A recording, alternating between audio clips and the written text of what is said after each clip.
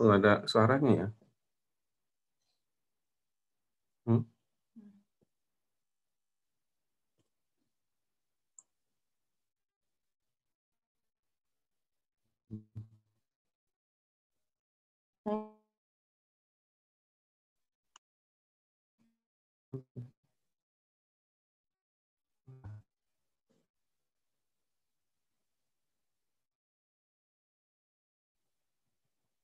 Nggak ada suaranya.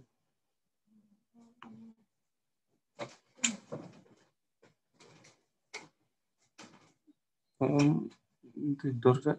Hah? Om tidur. Di sini aja di situ. Ini amat dong.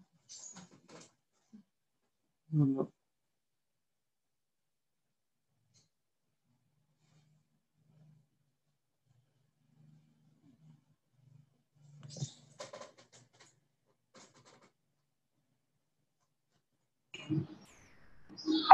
Cek cek sound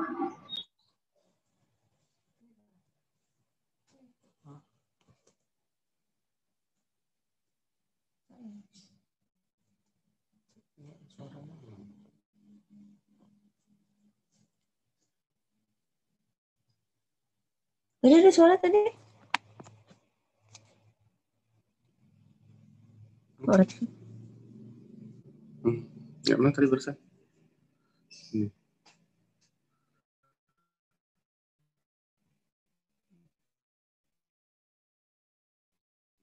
Hmm.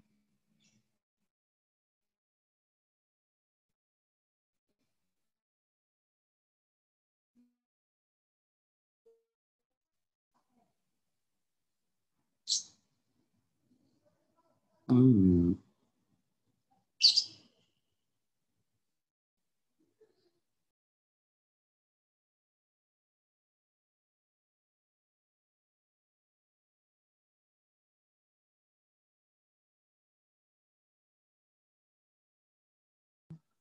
Ya, kalau ngelepas itu.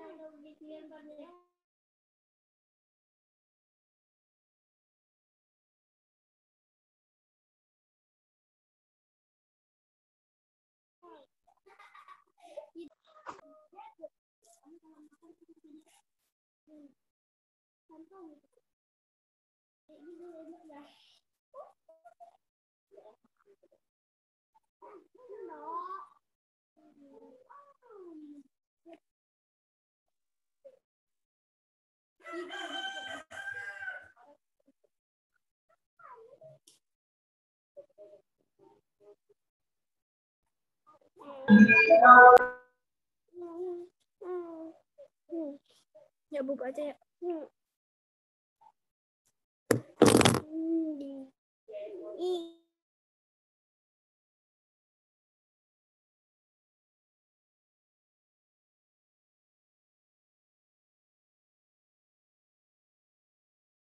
aja ya. Anak. Hmm. Pakai ini homo.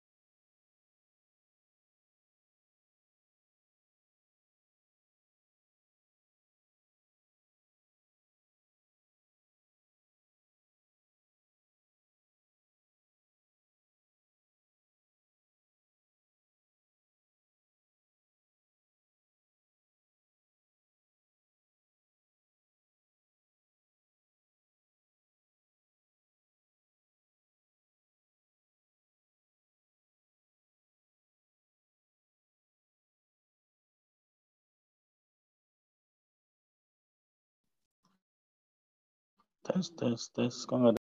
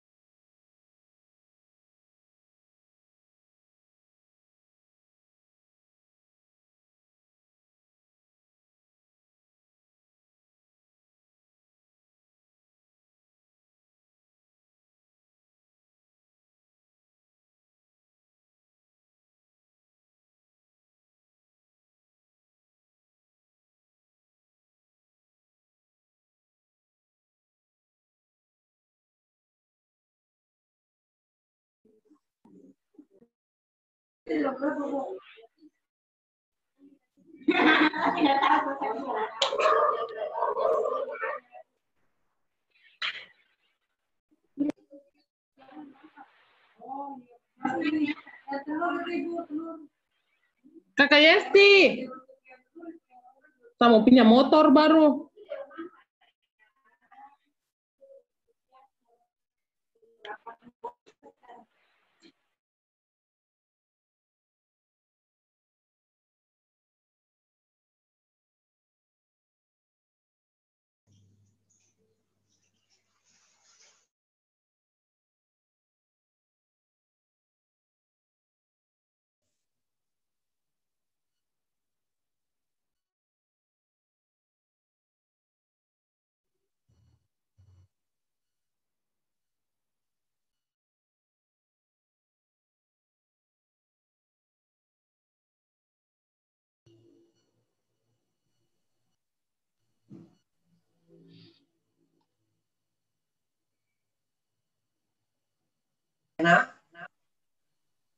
Masuk sini kamu.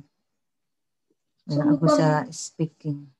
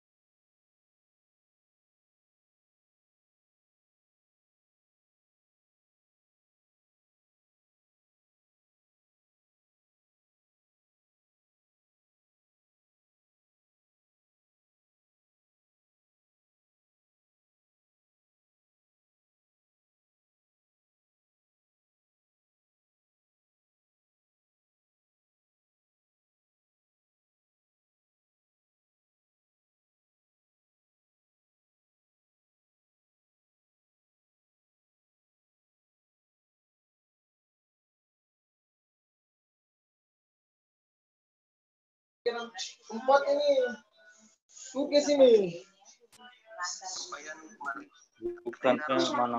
Tiga.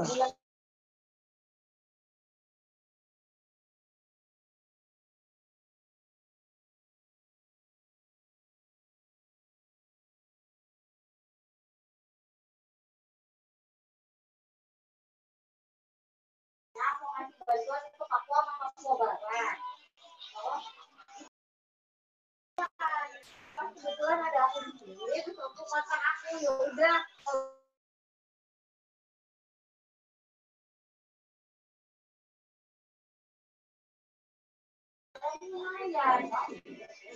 Oh, tidak bisa ya? Teman-teman di semua aku suruh aja. Mbak Jaya udah kasih masuk tadi malam dokter. Oke, kasih.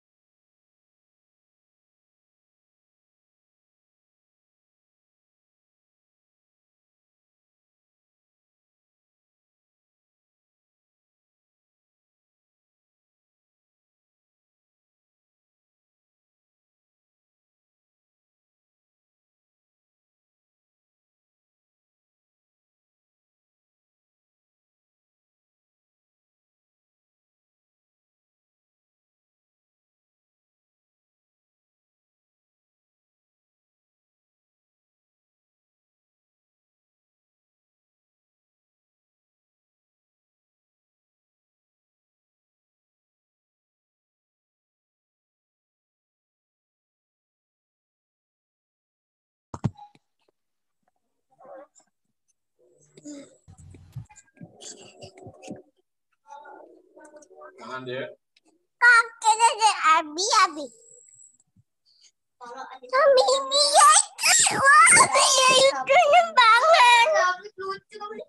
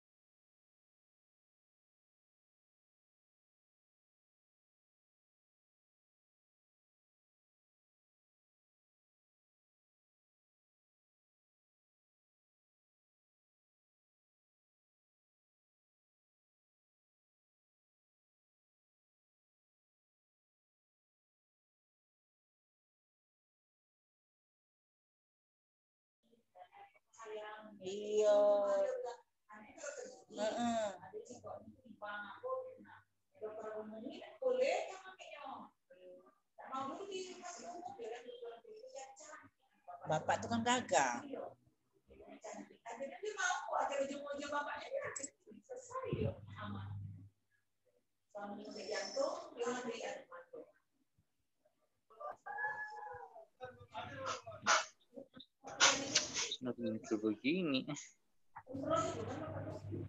Eh, sini dulu. Serat.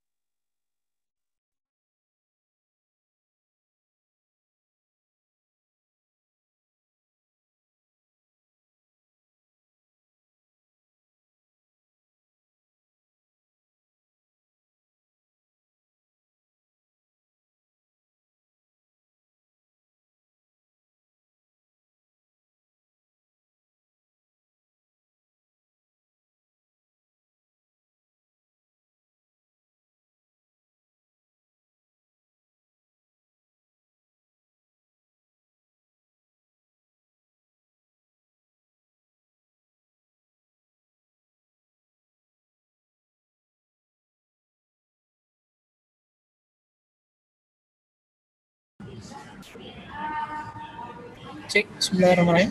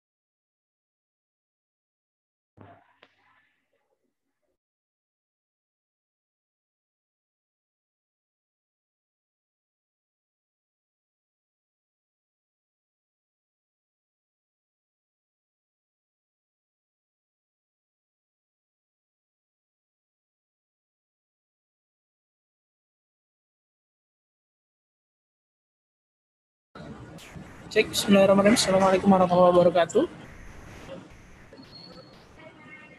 Waalaikumsalam warahmatullahi wabarakatuh. Baik, Alhamdulillahirrahmanirrahim. Eh, Selamat datang kepada seluruh peserta webinar Medlit pada pagi menjelang siang hari ini. Eh, Bapak, Ibu, kakak-kakak, dan mbak-mbak semua. eh, Insya Allah beberapa menit lagi kegiatan akan kita laksanakan. Dan saat ini seluruh panitia sedang mempersiapkan mulai dari eh, menghubungi peserta pembicara, kemudian eh, menginvite seluruh peserta dan untuk efektivitas kami meminta kepada seluruh peserta nanti pada saat pelaksanaan kegiatan dimohon untuk mematikan audionya masing-masing sehingga suara hanya terpusat eh, oleh pembicara kita dan insya Allah beberapa menit lagi eh, kegiatan akan kita laksanakan. Baik, sekali lagi selamat datang dan mohon bersabar eh, sampai pelaksanaan kegiatan kita laksanakan. Terima kasih. Assalamualaikum warahmatullahi wabarakatuh. Waalaikumsalam.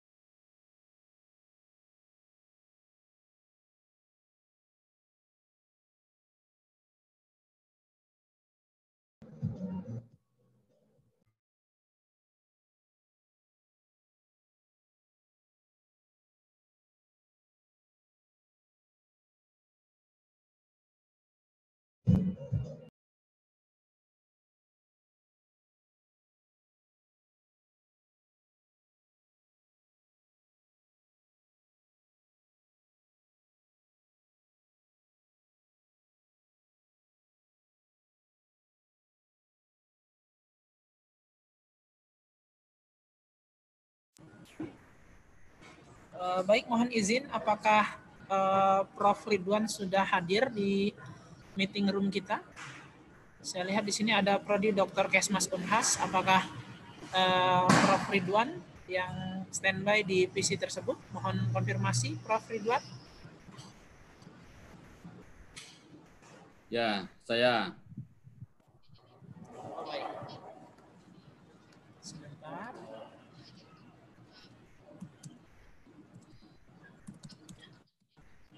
Oh baik.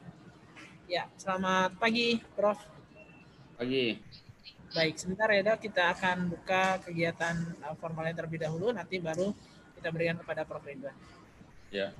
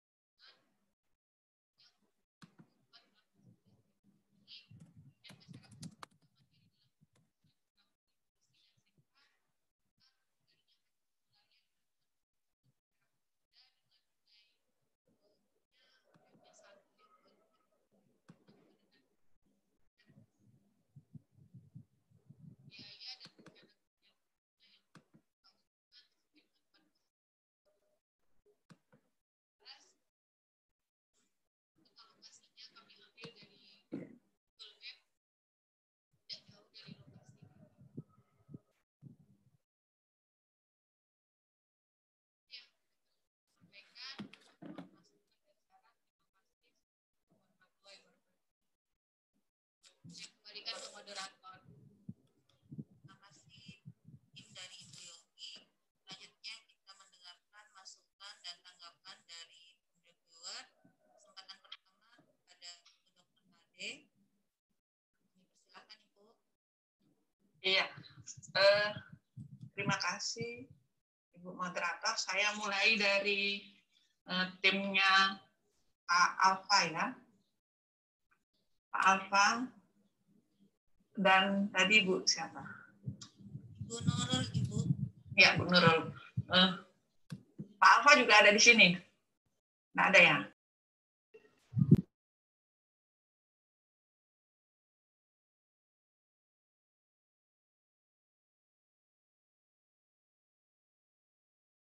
Baik, Bismillahirrahmanirrahim. Assalamualaikum warahmatullahi wabarakatuh. Selamat datang kepada seluruh peserta dan para pembicara yang kami hormati. Eh, baik, Alhamdulillahirrahmanirrahim. Hari ini kita sangat bersyukur bahwa kita dapat berjumpa dalam webinar seminar Medlit bersama 3D dan IMC Medical Center eh, dalam webinar seminar kita.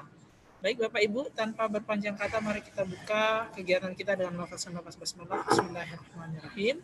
Selanjutnya eh, kegiatan kita akan dibuka dan diberikan sambutan oleh Bapak Ahmad Jamil SKM MKes selaku Dekan Fakultas Kesehatan Masyarakat, Kesehatan Masyarakat dari Universitas Mitra Indonesia. Baik kepada Bapak Jamil kami silakan.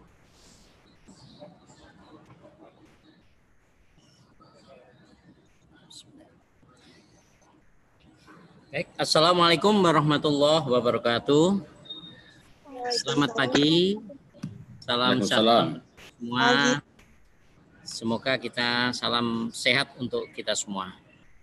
Eh, yang saya hormati Bapak Profesor Dr. Ridwan Amiruddin. Eh, selamat berjumpa Bang.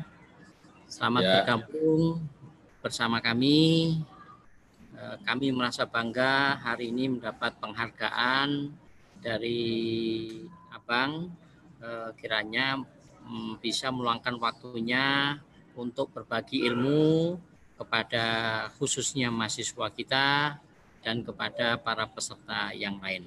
Semoga ilmu ini bisa bermanfaat untuk kita semua dalam rangka membangun bangsa kita, terutama kesehatan masyarakat kita lebih meningkat lagi.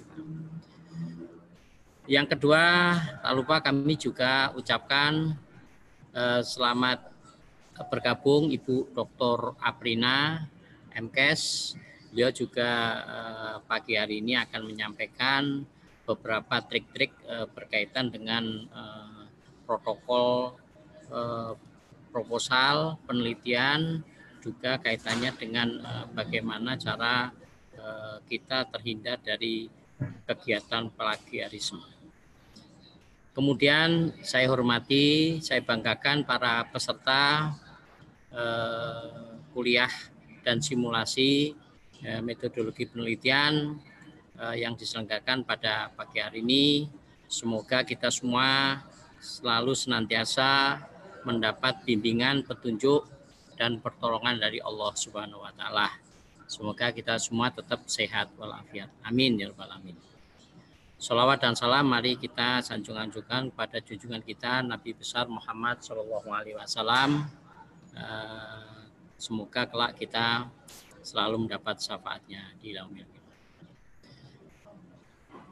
Pada pagi hari ini, Alhamdulillah saya bersyukur bahwa kegiatan kuliah dan simulasi metodologi penelitian bisa diselenggarakan eh, berkat kerjasama eh, kita semua dan juga mendapat ridho dari Allah Subhanahu Wa Taala. Topik ini sengaja saya ambil karena eh, medlit kita ketahui itu sebagai alat atau metode kita untuk eh, mendapatkan evidence base. Sesuai dengan kebijakan dari pemerintah terutama Kemenristek Dikti bahwa kita sekarang eranya adalah revolusi industri di mana kita dituntut memiliki literasi data, literasi teknologi dan literasi moral. Inilah yang harus kita bangun eh, dalam bangsa kita, generasi kita. Semoga ke depan eh, kita eh, bisa menyajikan, bisa dalam mengambil keputusan secara ilmiah, rasional, dan objektif. Medlit inilah sebagai alat utama kita bisa menyiapkan eh, data evidence base secara fakta. Jadi dengan adanya medlit eh, yang tepat, yang bagus, insya Allah kebijakan yang akan diambil ke depan bisa lebih baik. Semoga harapan kita derajat kesehatan masyarakat kita lebih meningkat lagi. Berdasarkan dari hasil beberapa kajian uh, penelitian yang terdahulu, ternyata ada beberapa uh, hal-hal intervensi yang kita nilai kurang efektif. Uh, di sini mendapat hasil juga akan kurang efektif. Karena setelah dilakukan penelitian, bahan yang diambil kebijakan itu bukan berdasarkan dari variabel variabel penyebab utama. Nah, jadi atau variabel uh, penyebab yang dominan.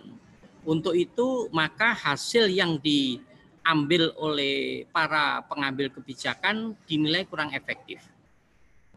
Uh, selama ini uh, saya juga bertanya-tanya kenapa masalah kesehatan kita ini kok tidak ujung tuntas gitu atau turun bahkan tambah disertai dengan beberapa eh, tampilan-tampilan masalah-masalah baru yang selama ini kita kurang eh, memahami itu. Jadi setelah adanya hasil dari beberapa penelitian yang dilakukan oleh mahasiswa, oleh para dosen, baru kita uh, tergugah ternyata apa mulai dari identifikasi risiko, identifikasi potensial masalah dan cara analisisnya, kemudian cara ngambil keputusannya itu eh, belum didasarkan pada eh, alat yang eh, bisa menggambarkan ilmiah, rasional dan eh, objektif. Nah, sehingga eh, apa yang dilakukan dalam kebijakan intervensinya itu eh, menghasilkan hasil yang kurang efektif. Nah, mudah-mudahan dengan uh, kuliah pada hari ini kita mendapat pencerahan dari Pak kita Profesor Dr. Ridwan. Uh, beliau ini adalah pakar uh, artinya guru besar dari Universitas yang di mana spesialisasi beliau adalah epidemiologi riset. Nah, jadi saya rasa ini tepat sekali bahwa pagi hari ini kita akan mendapat pencerahan dari beliau Semoga uh, dengan mengikuti perkuliahan hari ini, simulasi uh, mahasiswa kita dan para peserta yang mengikuti uh, kuliah dan simulasi medlit ini mendapat masukan yang bermanfaat. Semoga bisa diterapkan di masyarakat kita. Harapan kita ke depan kesehatan masyarakat kita lebih baik lagi. Tujuan bangsa kita sehat bisa tercapai berkat uh, kita semua. Saya rasa mungkin itu beberapa sambutan yang bisa kita berikan. Sekali lagi saya eh, mengucapkan penghargaan kepada Bang kita, Profesor Dr. Ridwan dan juga pada Dr. Eh, Ibu Dr. Aprina. Demikian terima kasih atas segala perhatiannya. Mohon maaf atas segala kekurangannya dan saya akhiri wassalamualaikum warahmatullahi wabarakatuh. Waalaikumsalam warahmatullahi wabarakatuh.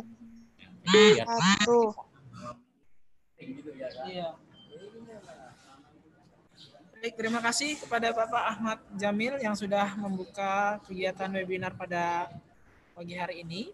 Selanjutnya kita akan langsung saja kepada pembicara pertama, tapi sebelum pembicara pertama memaparkan materinya, saya akan membacakan CV dari beliau, Bapak Ibu. Baik, di layar monitor Bapak Ibu semua bisa dilihat uh, pembicara kita pada pagi hari ini bertempat lahir bertempat lahir di Sopeng, 27 Desember 1997. Jadi kami ingatkan kepada seluruh peserta untuk efektivitas kami mohon pada seluruh peserta. Memakai sehingga suara bisa terpusat dan mohon maaf eh, Prof. Ridwan ini kami mute all jadi nanti mungkin di situ di monitor Prof. Ridwan nggak sengaja ke mute ya nanti silakan di unmute Prof.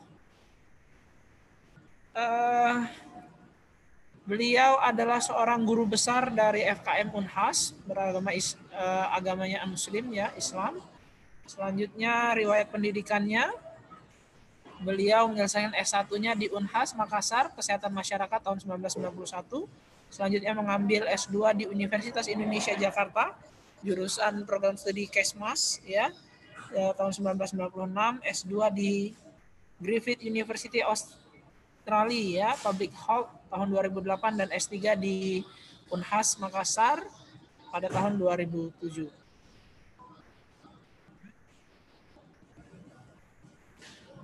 Ini adalah kontak beliau apabila Bapak Ibu semua membutuhkan eh, membutuhkan nanti untuk berkoordinasi dan nama beliau adalah Prof. Profesor Dr. Ridwan Amiruddin SKM MKes MSc PH ya. Baik.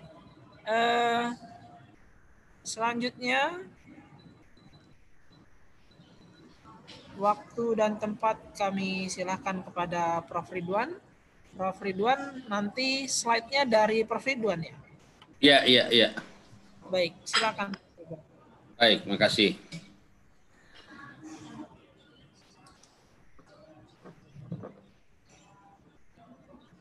Hmm, Oke, sebentar.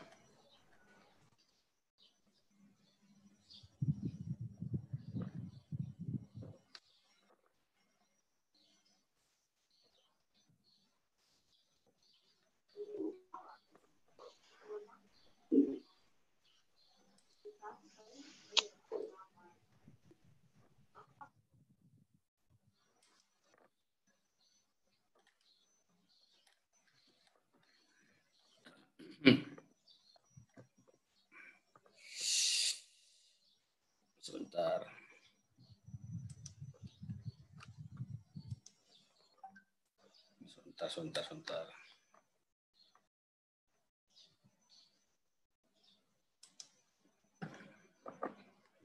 Lain.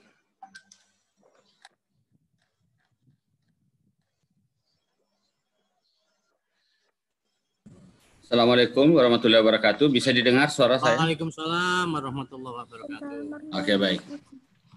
Waalaikumsalam warahmatullahi wabarakatuh. Ya, baik. Bapak Ibu sekalian, eh, selamat pagi. Hari ini kita bisa eh, berbagi pengalaman, berbagi bagaimana mengembangkan desain-desain penelitian yang bisa digunakan untuk kepentingan penulisan skripsi, tesis, maupun untuk kepentingan mendapatkan eh, budget pendanaan. Oke, secara umum, insya Allah kita akan membahas tentang simulasi proposal penelitian kesehatan, kemudian penelitian kuantitatif dan penelitian kualitatif. Ini udah, ah, udah. Bisa dilihat PowerPoint saya? Izin. Bisa. Saya, Bisa. oke baik. Jadi harapannya setelah kita diskusi nanti ini, eh, kita memungkinkan untuk mengembangkan sebuah proposal riset yang dapat eh, mendapatkan budgeting atau mendapatkan approval untuk studi-studi selanjutnya. Tujuan khususnya adalah eh, meningkatkan kemampuan untuk penyusunan proposal penelitian yang memuat berbagai komponen penting ya, mulai dari identifika- identifikasi masalah sampai pada metode. Ini merupakan refreshing dari studi mata mata kuliah mungkin yang kita sudah ambil di kelas ya, di yang berbobot kredit. Nah, sekarang eh, batasannya dulu nih, batasan yang terkait dengan eh, proposal penelitian ya. Jadi proposal penelitian yang baik itu mengandung unsur yang pertama adalah originalitas. Ini yang selalu menjadi tantangan bagi kita di penelitian.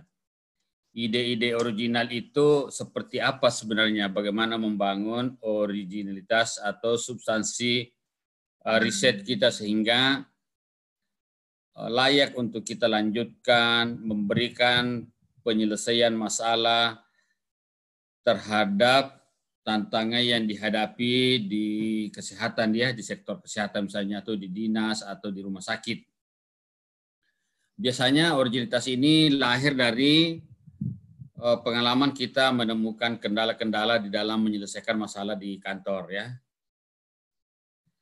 Kemudian kita mencoba menelusuri referensinya, pustakanya dan riset-riset yang telah dilakukan oleh orang lain. Yang kedua adalah yang biasa selalu dituntut ini pada level lanjutan adalah new finding atau biasa disebut dengan novelty ya, new finding atau temuan-temuan baru yang ditargetkan dari sebuah riset. Kemudian poin pentingnya bahwa penelitian itu mesti ada pembimbingnya. Nah, jadi ini harus ada pendampingan dari pembimbing, promotor atau kopromotor atau pembimbing satu dan pembimbing dua ini sangat penting untuk menjadi teman diskusi ya sama dengan seorang petinju harus ada pelatihnya ya pemain-pemain bola profesional itu ada pelatihnya. Nah kita mengharapkan juga riset-riset yang dikembangkan itu ada sparring partner untuk diskusi. Nah untuk itu saya sangat mengapresiasi Umitra Pak Dekan, timnya yang telah menggagas untuk membangun kultur akademik yang sangat bagus seperti ini ya. Kita bisa berdiskusi nanti panjang lebar terkait dengan teknik-teknik mengembangkan proposal desain yang layak untuk dikembangkan untuk menemukan temuan-temuan baru sehingga bisa dipublish di jurnal-jurnal yang bereputasi. Apa dampaknya publikasi yang terpublikasi dengan baik itu sangat uh, meningkatkan rating dari seorang peneliti. Nah, jadi semakin banyak publikasi kita di misalnya di Scopus itu semakin meningkatkan grade kita untuk mendapatkan uh, funding yang lebih besar. Jadi itu sebenarnya dari sisi finansialnya. Dari sisi pengembangan keilmuan itu sangat bagus untuk kita mengembangkan wawasan keilmuan kita dari hari ke hari sehingga kita semakin menguasai, semakin ekspor pada bidang kajian yang kita kembangkan.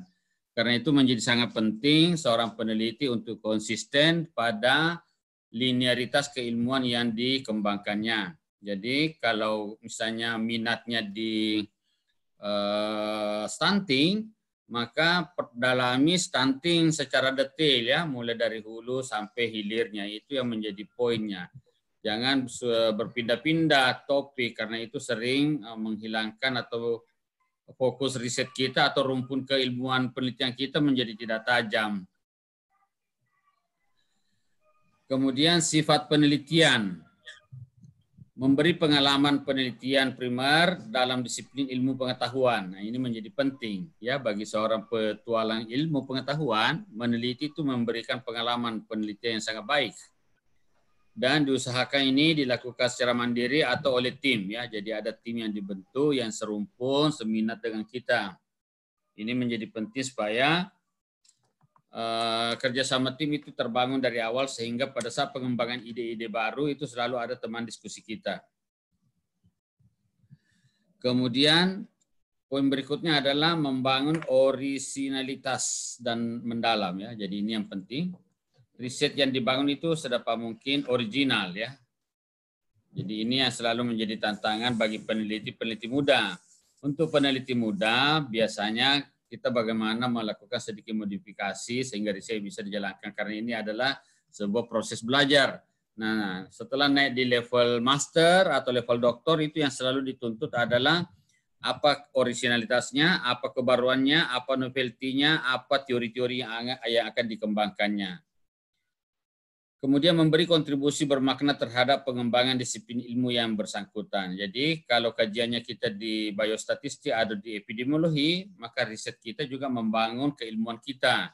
Begitu juga untuk teman-teman yang dari jurusan yang lain, misalnya dari keperawatan atau bidang-bidang yang lain, itu selalu studi kita memberikan kontribusi terhadap pengembangan keilmuan.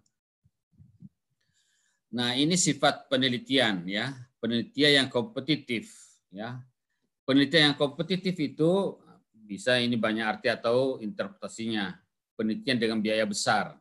Jadi biasanya kalau harus diletakkan sejak awal ini yang disebut dengan roadmap.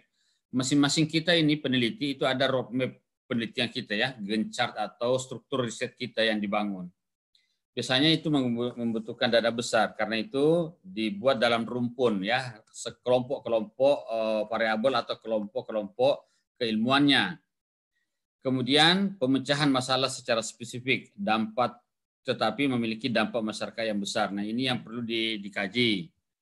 Kemudian yang kompetitif biasanya juga mendapatkan dana penelitian dari luar, penelitian untuk mendapatkan jenjang pendidikan tertinggi. Nah, ini biasanya dilakukan pada penelitian pada tingkat doktoral. Pada penelitian tingkat doktoral, biasa disebut dengan disertasi, itu selalu pertanyaannya adalah uh, apa novelty, apa kebaruan, apa teori yang ingin disanggah atau apa teori-teori yang ingin dirumuskan. Nah, biasanya tingkat untuk mendapatkan dana pada level doktor ini sangat tinggi. Jadi ini menarik sekali untuk teman-teman yang masih ingin melanjutkan studinya, jangan ditahan-tahan. Ya, segera kembangkan ide berpikirnya, pola-pola riset yang akan dikembangkan ke depan. Jadi kalau Anda sudah minatnya misalnya di nutrisi atau di bidang-bidang yang lain, maka dalami terus karena setiap bidang ilmu itu memiliki eh, front line ya. Ada setiap bidang ilmu yang ingin kita kembangkan selalu ada ujung tombak risetnya.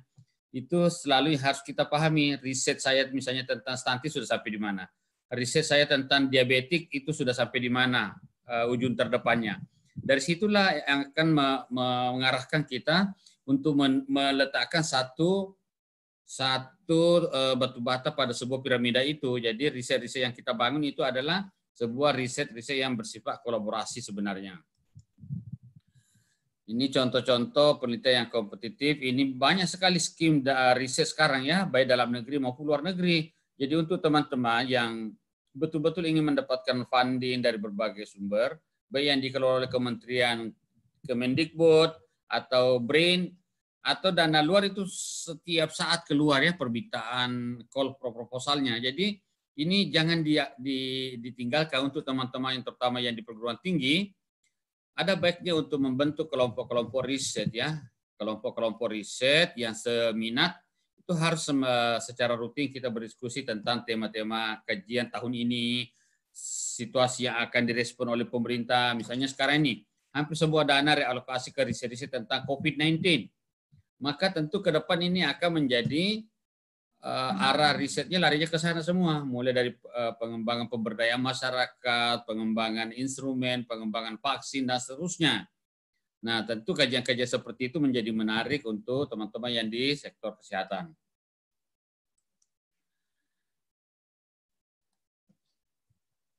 Oke. Okay apa harapan seorang saintis, teman-teman yang ada di dalam uh, meeting sekarang ini, tentu kita semua ini adalah seorang saintis. Nah, seorang saintis itu dituntut untuk memberi andil dalam yang pertama, memecahkan masalah yang timbul dalam kehidupan masyarakat. Ini tanggung jawab kita nih. Tanggung jawab kita sekarang, katakanlah nih, bagaimana meningkatkan partisipasi masyarakat di dalam pelaksanaan protokol kesehatan. Ini menjadi tantangan tersendiri bagi peneliti di sekarang ini apa upaya-upaya yang harus kita lakukan sebagai seorang peneliti untuk meningkatkan awareness, partisipasi, disiplin masyarakat di dalam pelaksanaan protokol kesehatan. Itu berarti kita berusaha untuk paling tidak memberikan kontribusi di dalam pemutusan mata rantai penularan suatu penyakit, misalnya COVID-19. Nah ini butuh riset, tidak bisa keputusannya keluar begitu saja. Harus ada basis risetnya Nah, untuk basis riset ini kita membutuhkan mulai riset pada level S1, level S2, level S3 harus dapat berjalan secara uh, sinergi, secara paralel dan dikerjakan secara tim. Yang kedua adalah perkembangan ilmu pengetahuan dan teknologi yang belum terselesaikan. Jadi ilmu ini berkembang sangat cepat, termasuk di dalam pengendalian COVID ini. Pengendalian COVID ini eh, dinamis sekali perkembangan keilmuannya ya. Karena itu membutuhkan riset yang bersifat berkelanjutan. Saintis perlu mengembangkan diri secara kontinu, tidak hanya mengikuti perkembangan ilmu saja, tetapi mempunyai andil dalam pengembang iptek. Karena itu kita membutuhkan riset. Jadi teman-teman yang kebetulan berkecimpung sebagai dosen, sebagai peneliti, kita tidak bisa hanya sebagai seorang dosen saja atau pengajar, tetapi apa yang kita teliti itu kita lakukan pengabdian, setelah kita lakukan pengabdian itu yang jadi bahan ajar kita. Jadi ini sekarang menjadi sebuah uh, siklus. Jadi menjadi dosen atau menjadi tenaga pengajar itu bukan hanya menjadi pengajar di kelas saja, tetapi bagaimana hasil pengajaran kita itu bersumber dari hasil hasil penelitian kita. Ini poinnya sekarang yang harus kita pegang baik-baik. Bahwa hasil pembelajaran yang kita lakukan itu adalah sebuah output dari penelitian yang panjang yang telah kita lakukan sebelumnya. Kalau itu dilakukan dari awal, maka itu akan lahir satu modul, lahir satu buku, lahir sebuah publikasi, lahir sebuah bahan ajar, sehingga mata rantai sebuah tema riset dari awal sampai menjadi bahan ajar itu luar biasa sekali. Nah inilah sehingga mengapa teman-teman kita butuh untuk fokus pada satu kajian. Misalnya yang fokusnya di stunting atau fokusnya di promosi kesehatan, dalami ilmunya, kemudian kembangkan menjadi roadmap penelitiannya, kemudian kembangkan menjadi riset, kembangkan menjadi pengabdian, kembangkan menjadi bahan ajar. Nah itulah rantai riset yang sesungguhnya jadi dia akan menjadi mempercepat di dalam jenjang karir keilmuan kita, jenjang karir di kampus, wawasan keilmuan, jejaring jejaring disiplin ilmu yang uh, yang relevan itu semakin meluas. Berikut ini adalah tujuan di dalam penyusunan proposal penelitian yang merupakan rencana kegiatan yang menjelaskan kepada pembaca atau reviewer utamanya pimpinan lembaga tentang langkah-langkah yang dikerjakan dan bagaimana cara mengerjakannya, konsekuensinya semakin hemat kata, makin jelas dan lugas, makin membuat pembaca memahami proposal yang bersangkutan. Jadi bukan tebalnya proposal yang penting, Pak. Yang paling penting adalah jelas, lugas, dan mudah dipahami. Jadi ini ya, apa ide yang Bapak ingin sampaikan, kemudian tidak berputar-putar ya kulturnya kita menyusung eh, biasa menyusun proposal itu kultur Asia adalah berputar-putar. Akhirnya hilang hilang fokusnya. Nah proposal yang baik itu lugas ya jelas ya. pasar bisa jalan dan ke mana malam. Orang bulu dia diri baru orang potong di punya kepala bukan bosnya orang sudah bicara dapat dia di mana di kali situ baru kaki lain tangan apa mas? Mama dikasih. Orang makan sekolah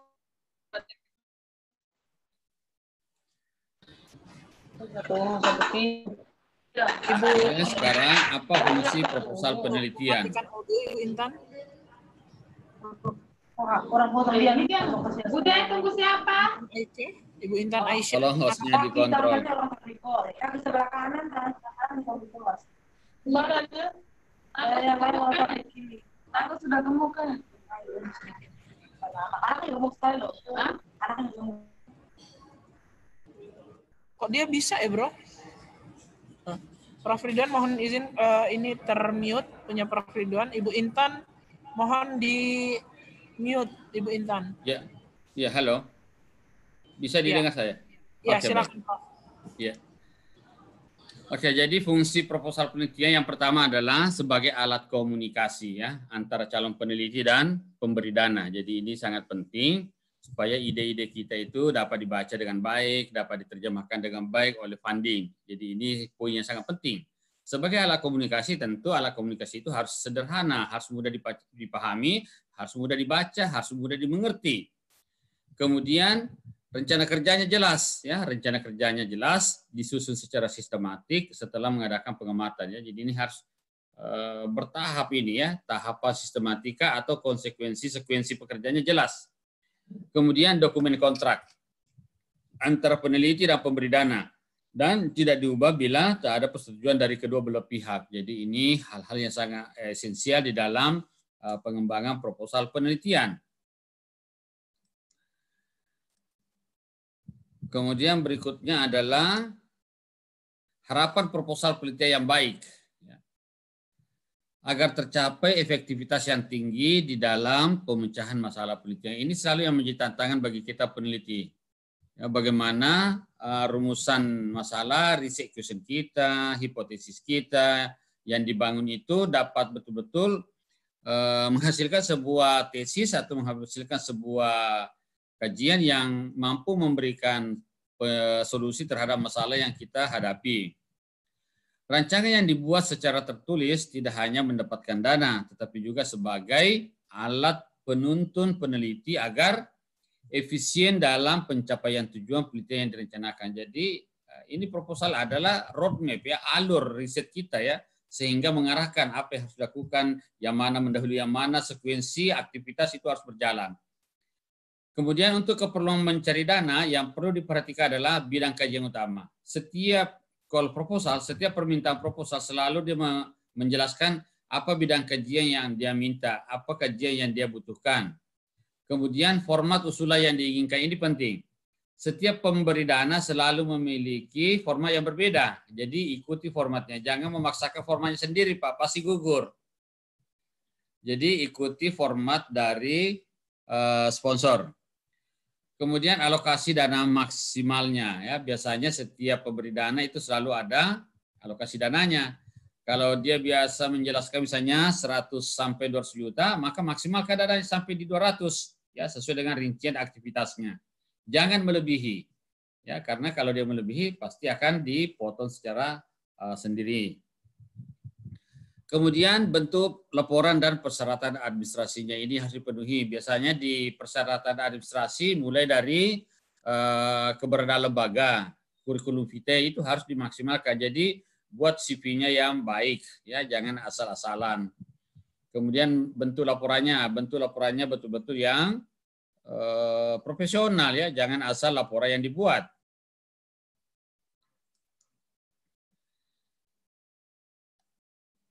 Kemudian sistematika proposal, tentu harus ada judulnya ya. Saya ingin sedikit judul penelitian yang baik itu harus seksi ya. Nah, biasanya bagaimana membuat uh, judul yang seksi? Ada ada syaratnya yang harus dipahami bersama teman-teman. Judul yang baik itu bahkan disebutkan tidak melebihi 15 kata ya. Jadi judul yang baik itu tidak melebihi 15 kata. Kalaupun lebih maka dia harus dipecah menjadi uh, subheading atau subjudul. Judul yang baik tidak tidak memberikan redundancy kata ya, tidak ada pengulangan kata. Yang kedua judul yang baik menggunakan kata-kata yang bersifat aktif. Ini kata kunci semua harus kita pahami. Bagaimana membuat judul yang baik? Yang pertama, menjawab uh, apa, kapan, di mana. Ya, ini pendekatan epidemiologi misalnya jalan. Apa yang akan diteliti, di mana mau diteliti, kapan penelitiannya. Ya, paling tidak seperti itu. Kemudian menggunakan kata yang aktif, ya, kata yang aktif. Mengurangi penggunaan kata kata sandang, ya, mengurangi penggunaan kata sandang. Kemudian jumlah katanya tadi sudah dibatasi tuh, jumlah katanya maksimal 15 kata saja. Jadi sudah Nah, untuk menyusun judul seperti itu kan butuh juga uh, pelajaran ya, butuh latihan ya. Biasanya kita senang membuat judul panjang-panjang, akhirnya kehilangan fokus sendiri. Nah, ini menjadi tantangan tersendiri dalam membuat proposal kita. Jadi, berikutnya pendahuluan ya. Pendahuluan ini selalu menjadi uh, dasar bergeraknya. Apa inti dari pendahuluan sebuah penelitian yang baik? berisi tentang latar belakang ya. Nanti di file berikutnya saya akan memaparkan satu contoh proposal kami. Itu akan menjadi bahan diskusi ya. Ada latar belakangnya. Latar belakang yang baik itu menggunakan piramida terbalik ya. Jadi latar belakang sebuah riset atau penelitian yang baik menggunakan piramida terbalik. Apa yang dimaksud piramida terbalik? Jadi kita berangkat dari gagasan besarnya, misalnya tentang COVID-19 nih, COVID-19. Maka kita akan menjelaskan bagaimana perkembangan COVID-19 secara global. Oh, COVID-19 secara global sudah ada 20 juta. jumlah kematiannya sudah 500 sekian. Sekarang bagaimana COVID-19 tingkat regional? Oh, ASEAN. Di ASEAN itu tertinggi misalnya sudah masuk ke eh, Singapura atau Filipina paling tinggi baru Indonesia. Sekarang bagaimana di Indonesia? Jadi ada hierarki, yaitu yang disebut dengan eh, pendekatannya bersifat piramida terbalik. Nah, setelah itu, setelah kita rumuskan masalahnya, uh, rumusan masalah men- menjadi penting karena inilah yang akan kita jawab. Ya, Jadi misalnya apa contoh rumusan masalah yang baik? Mengenai uh, bagaimana uh, produksi vaksin ya, bagaimana keamanan vaksin fase 3 yang sedang diuji coba di Bandung ini terhadap 1620 uh, relawan. Ya, misalnya kita ingin mengetahui bagaimana tingkat keamanan uji coba vaksin fase 3 di Bandung terhadap 1620 relawan. Nah, itu contoh rumusan masalah. Kemudian tujuan penelitian ya, tujuan penelitian ini biasanya kita sudah tahu semuanya, tujuan umumnya ada, tujuan khususnya apa ya, tujuan umum eh, sebagai payung dari tujuan khusus kita.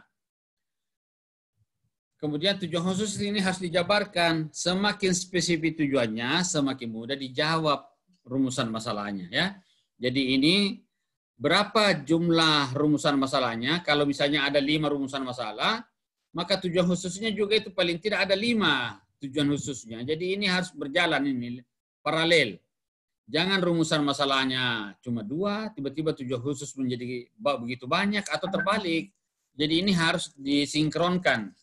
Apa rumusan masalahnya? Contoh tadi rumusan masalah adalah bagaimana keamanan uji coba vaksin fase 3 di Bandung terhadap 1.620 relawan. Maka tujuan penelitiannya adalah untuk melihat tingkat keamanan uji coba vaksin fase 3 di terhadap relawan 1.620 relawan di Kota Bandung. Jadi seperti itu tujuannya. Jadi ada benang merah penelitian, rumusan masalah, tujuan penelitian, nah, itu harus sinkron ya. Jangan lain rumusannya, lain tujuannya. Kalau itu saja sudah keliru, pasti ditolak. Paling tidak ditolak oleh pembimbing, ditolak oleh sponsor. Jadi jadi ini harus di, disinkronisasi. Kita berangkat berikutnya di manfaat penelitian. Jadi manfaat penelitian ini tentu kita sudah paham bersama ya. Tapi prinsip umumnya manfaat penelitian itu adalah ada manfaat dari sisi pengembangan keilmuan ya. Ada manfaat namanya menjawab ontologi keilmuan ya, ke pengembangan keilmuan, ada manfaat praktisnya, ada manfaat untuk menyelesaikan studi. Disebut saja manfaat penelitian ini untuk menyelesaikan studi tes master atau menyelesaikan eh, studi sarjana atau menyelesaikan studi doktornya. Kemudian masuk ke yang ketiga tentang telaah pustaka. Ini menjadi penting terutama untuk membangun kerangka teori kita. Kerangka teori yang kuat itu adalah dibangun dari kedalaman bacaan. Jadi sangat sulit sekali kita membangun kerangka teori yang baik kalau kita membaca referensi terbatas. Nah, dengan teknologi informasi yang sangat deras seperti sekarang ini, hampir tidak ada lagi batasan untuk mengakses seluruh informasi ya.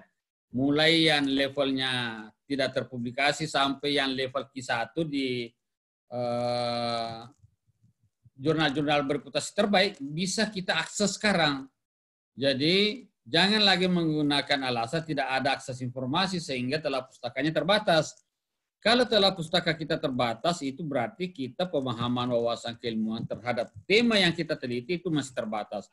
Nah, ini menjadi tantangan. Karena untuk membangun kerangka teori yang kuat, harus didukung oleh telah pustaka yang kuat. Nah, telah pustaka yang kuat ini bisa diawali dengan mencoba mengakses misalnya Anda meneliti tentang stunting, ya stunting sebagai isu sebelum COVID nih. Maka cari referensi terutama yang terkait dengan uh, meta analisis tentang stunting. Jadi semua topik yang kita minati itu ada meta kajiannya ya, ada meta analisisnya.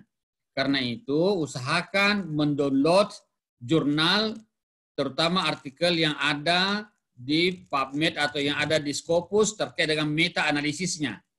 Analisis meta ini atau meta analisis ini adalah analisis mutakhir yang terkait dengan tema tema riset yang kita kaji. Ya, misalnya saya ingin meneliti tentang uh, diabetik, maka saya harus mendownload meta analisis riset mutakhir tentang diabetes. Dari meta analisis itu akan memberi kerangka berpikir kepada saya bahwa studi terbaru tentang diabetes itu sudah di mana.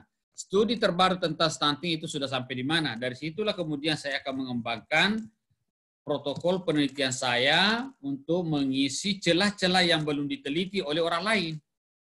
Jadi riset yang terbaik adalah bukan pengulangan saja yang dilakukan orang lain, tetapi modifikasi, pengembangan terhadap ide-ide pikiran orang, kita tambah, kita modifikasi, kita tambahkan aspek-aspek sosiokultural, kita kembangkan variabel-variabel baru, model-model baru, maka riset kita menjadi selalu up to date. Jadi itu poinnya hindari mengulakan, me, melakukan redundancy atau pengulangan terhadap penelitian yang telah dilakukan oleh orang lain hanya memindahkan tempatnya. Itu bukan novelty. Yang kita butuhkan adalah melakukan penambahan ide, ya, mengolah ide yang sudah ada, lakukan pengayaan, lakukan insersi, penyisipan, lakukan modifikasi ulang, baru uji coba. Jadi ini sangat penting. Setelah itu, setelah terbangun kerangka teorinya, jadi kerangka teori ini poinnya ya, jadi selalu bertanya nih, apa beda kerangka teori dengan kerangka konsep? Ini selalu menjadi pertanyaan. Kerangka teori adalah sebuah kerangka yang menjelaskan kepada kita tentang seluruh aspek yang mempengaruhi satu variabel dependen. Ini penting. Jadi contoh di stunting. Stunting itu banyak sekali faktornya. Ada faktor yang bersifat sensitif, ada faktor yang bersifat uh, apa namanya spesifik. Saya hanya mau mengambil misalnya variabel-variabel yang bersifat spesifik. Berarti ada variabel sensitif yang saya tidak teliti. Tetapi di kerangka itu sudah muncul semua variabel itu. Sementara kerangka konsep hanya variabel yang saya teliti. Hanya misalnya variabel yang sensitif terhadap uh, stand, uh, terhadap stunting. Jadi kerangka teori itu atau theoretical framework adalah sebuah frame atau kerangka yang menjelaskan keterkaitan antara seluruh variabel. Baik yang diteliti maupun yang tidak diteliti. Itu poinnya. Sementara kerangka konsep adalah sebuah kerangka yang menjelaskan hanya variabel yang diteliti. Variabel dependen dan independen seperti apa hubungannya. Apakah bersifat hubungan timbal balik atau bersifat hubungan satu arah dan uh, seterusnya. Jadi ini sudah jelas. Kerangka konsep dan kerangka teori itu dibangun dari kedalaman telah pustaka yang kita lakukan. Setelah itu masuk ke hipotesis. Nah, tentu kita sudah tahu hipotesis adalah dugaan sementara ya. Dugaan sementara terhadap jawaban penelitian kita. Semakin kuat uh, penelitian seseorang, semakin uh, terbukti dari bagaimana dia membangun hipotesisnya. Hipotesis secara umum kita tahu ya ada hipotesis nol, ada hipotesis alternatif. Ya. Hipotesis nol dan hipotesis alternatif artinya ada dua variabel yang ingin kita uji. Apakah ada hubungan atau tidak ada hubungan antara satu variabel dengan variabel yang lain. Jadi ini mengarahkan kepada kita untuk melakukan nanti pembuktian. Misalnya, apakah ada hubungan antara intervensi, aspek sensitif, faktor-faktor sensitif, terhadap uh, kejadian stunting ya. Atau apakah ada hubungan antara uh, karakter relawan terhadap keamanan vaksin, uh, vaksin ya. Contoh ya. Apakah ada pengaruh variabel umur terhadap uh, efikasi vaksin ya? Nah, jadi itu contoh hipotesisnya atau dibalik tidak ada pengaruh faktor umur terhadap keamanan vaksin. Yaitu disebut hipotesis nol ya. Kalau kita mengatakan ada pengaruh faktor umur terhadap keamanan vaksin, maka itu disebut dengan uh, hipotesis alternatif. Oke, sekarang kita masuk ke uh, metodologi penelitian. Metode penelitiannya ya. Pada bab metode ini itu harus menjelaskan desain yang kita gunakan. Desain penelitian yang kita gunakan itu Secara umum desain itu ada desain uh, observasional, dan ada desain eksperimen ya, ada desain eksperimen. Apa beda mendasar antara observasi dengan eksperimen? Kalau kita tidak atau peneliti tidak melakukan intervensi sama sekali terhadap subjeknya, maka itu disebut dengan desainnya adalah desain observasional atau survei biasa saja. Tapi apabila seorang peneliti secara sengaja melakukan intervensi terhadap subjeknya, maka itu berarti masuk ke dalam penelitian eksperimen. Jadi ini poin penting yang membedakan antara penelitian observasional dan penelitian eksperimen. Ini prinsip dasarnya Bu ya. Jadi Bapak Ibu, kalau Bapak melakukan intervensi nih, memberikan perlakuan terhadap subjek penelitiannya, Misalnya pemberian obat, ada yang diberikan dosis 5 mg, ada dosis 10, ada dosis 15. Ada tiga kelompok, dosisnya berbeda. Maka itu berarti kita melakukan eksperimen. Tapi kalau seorang peneliti tidak melakukan intervensi sama sekali, dia hanya melakukan observasi, eh, melakukan wawancara, penggalian informasi, maka itu disebut dengan studi observasional. Studi observasional ini terbagi dalam beberapa kelompok ya ada studi krosesional, ada studi case control, ada studi cohort ya. Ada studi kasus, ya, ada studi kasus. Sementara studi eksperimen terbagi dua juga nih. Ada studi uh, eksperimen ya, ada kuasi eksperimen dan ada studi eksperimen murni ya. Jadi dari sisi desain secara umum dibagi dua observasi dan eksperimen. Yang observasi secara umum bisa juga dibagi ada cross sectional, ada case control, ada cohort study. Nanti itu basic desainnya, nanti bisa berkembang menjadi beberapa jenis desain. Sementara yang eksperimen dibagi dua, yaitu eksperimen semu dan eksperimen murni. Perbedaannya terletak pada uh, randomisasi. Kalau kita melakukan Eh, pengelompokan sampel secara random, maka itu disebut dengan eksperimen murni. Oke, lanjut. Eh, berikut eh, metodologinya adalah tempat ya, berarti tempat riset dilaksanakan. Ya, tempat ini bisa di laboratorium, bisa di masyarakat, ya, bisa di rumah sakit. Jadi ini harus dijelaskan. Karena tempat ini kan merepresentasi nanti subjek yang mau diambil itu apakah pasien, apakah populasi sehat, atau orang-orang kantoran, atau mahasiswa. Kemudian populasi. Apa populasi? Sekelompok ya subjek ya agregat atau subjek yang akan kita pelajari karakteristiknya. Sementara sampel adalah bagian dari populasi yang akan kita pelajari strukturnya, karakternya. Nah, kemudian masuk ke besar sampel. Pertanyaannya, berapa sampel yang saya butuhkan? Besar kecilnya sampel sangat ditentukan oleh homogen, ya, sangat ditentukan oleh homogenitas populasi. Besar kecilnya sampel ditentukan oleh homogenitas populasi. Semakin homogen populasi, semakin kecil sampelnya. Semakin heterogen populasi, semakin besar populasinya. Atau semakin beragam karakter populasi, semakin banyak sampel yang dibutuhkan untuk merepresentasi suatu populasi. Begitu. Jadi semakin besar jumlah populasinya, tentu semakin besar sampel yang dibutuhkan untuk merepresentasi uh, populasi kita. Nah, terkait dengan besar sampel ini harus ada rumusnya. Semua studi-studi analitik, studi analitik itu semua studi yang ada hipotesisnya, ya. Jadi yang dimaksud dengan studi analitik adalah studi yang memiliki hipotesis, ada pembuktian uji dengan uji statistik. Maka kalau Bapak Ibu melakukan pembuktian atau dengan uji statistik, maka diharapkan sampelnya itu representatif. Untuk mendapatkan sampel yang representatif itu harus diukur jumlahnya. Berapa kebutuhan jumlah sampelnya? Formula setiap uh, jenis desain itu berbeda ya. Misalnya Anda menggunakan desain. Moderator, nanti tolong diingatkan kalau waktunya habis ya. Baik Pak, ya siap. Masih cukup kan? Masih cukup? Masih Pak, masih. Oke, ya.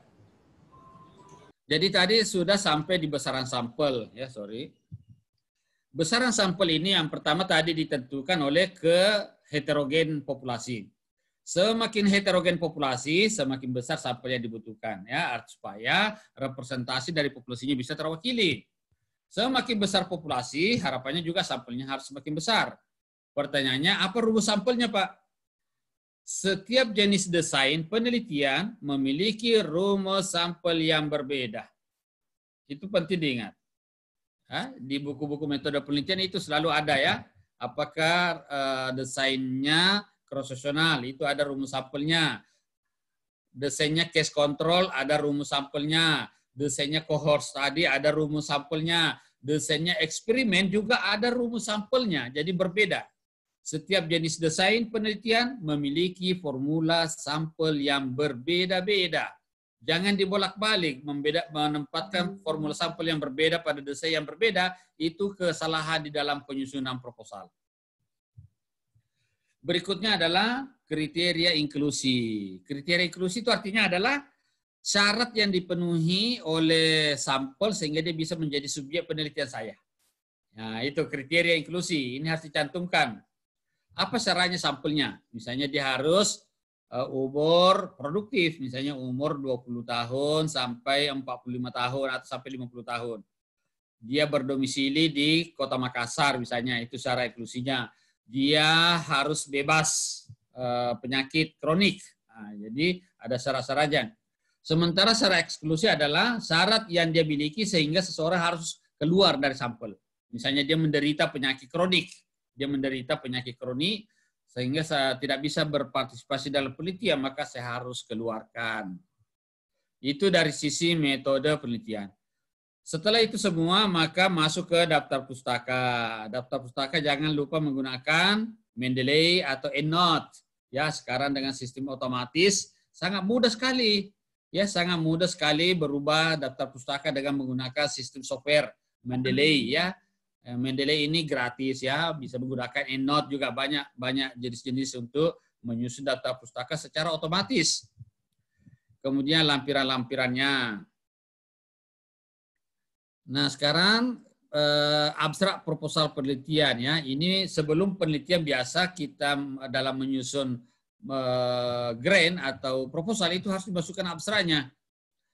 Jadi dibuat pada awal penulisan dengan masuk memfokuskan pikiran penulis yang menunjukkan rencana penelitian secara ringkas. Setiap kata harus dapat memberi arti yang jelas. Jadi abstrak itu biasa dibatasi 250 kata saja.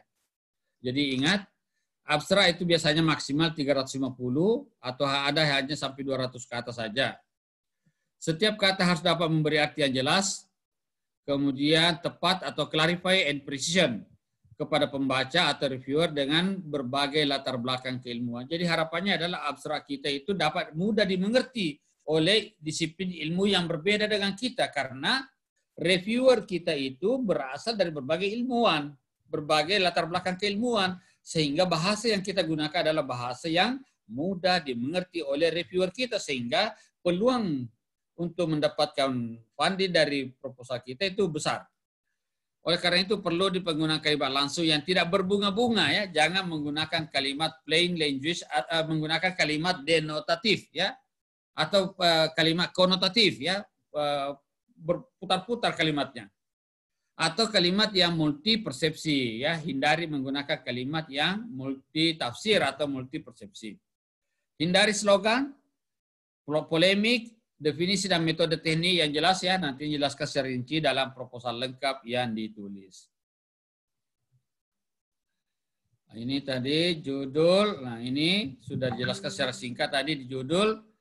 Ini judul yang baik itu harus singkat ya, mempertajam kembali. Singkatnya itu berapa singkatnya, Pak? Tidak lebih 15 kata. Nah, ini tantangannya ya, bagaimana membuat judul tidak lebih 15 kata. Jadi judul yang tidak lebih 15 kata itu betul-betul harus dipilih. Kalimat aktif mana, kalimat sambungnya dikurangi, kalimat kata sandanya dikurangi, pengulangan katanya harus dihindari.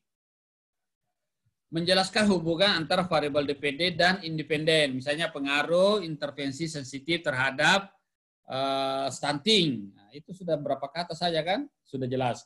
pengaruh intervensi sensitif terhadap pengendalian stunting di Lampung. Sudah, judulnya sudah jelas. Nanti intervensi sensitifnya apa? Pemberian makanan tambahan atau apa ya? Independennya apa?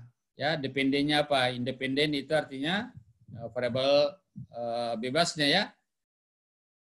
Ruang lingkupnya harus jelas ya, lingkupnya.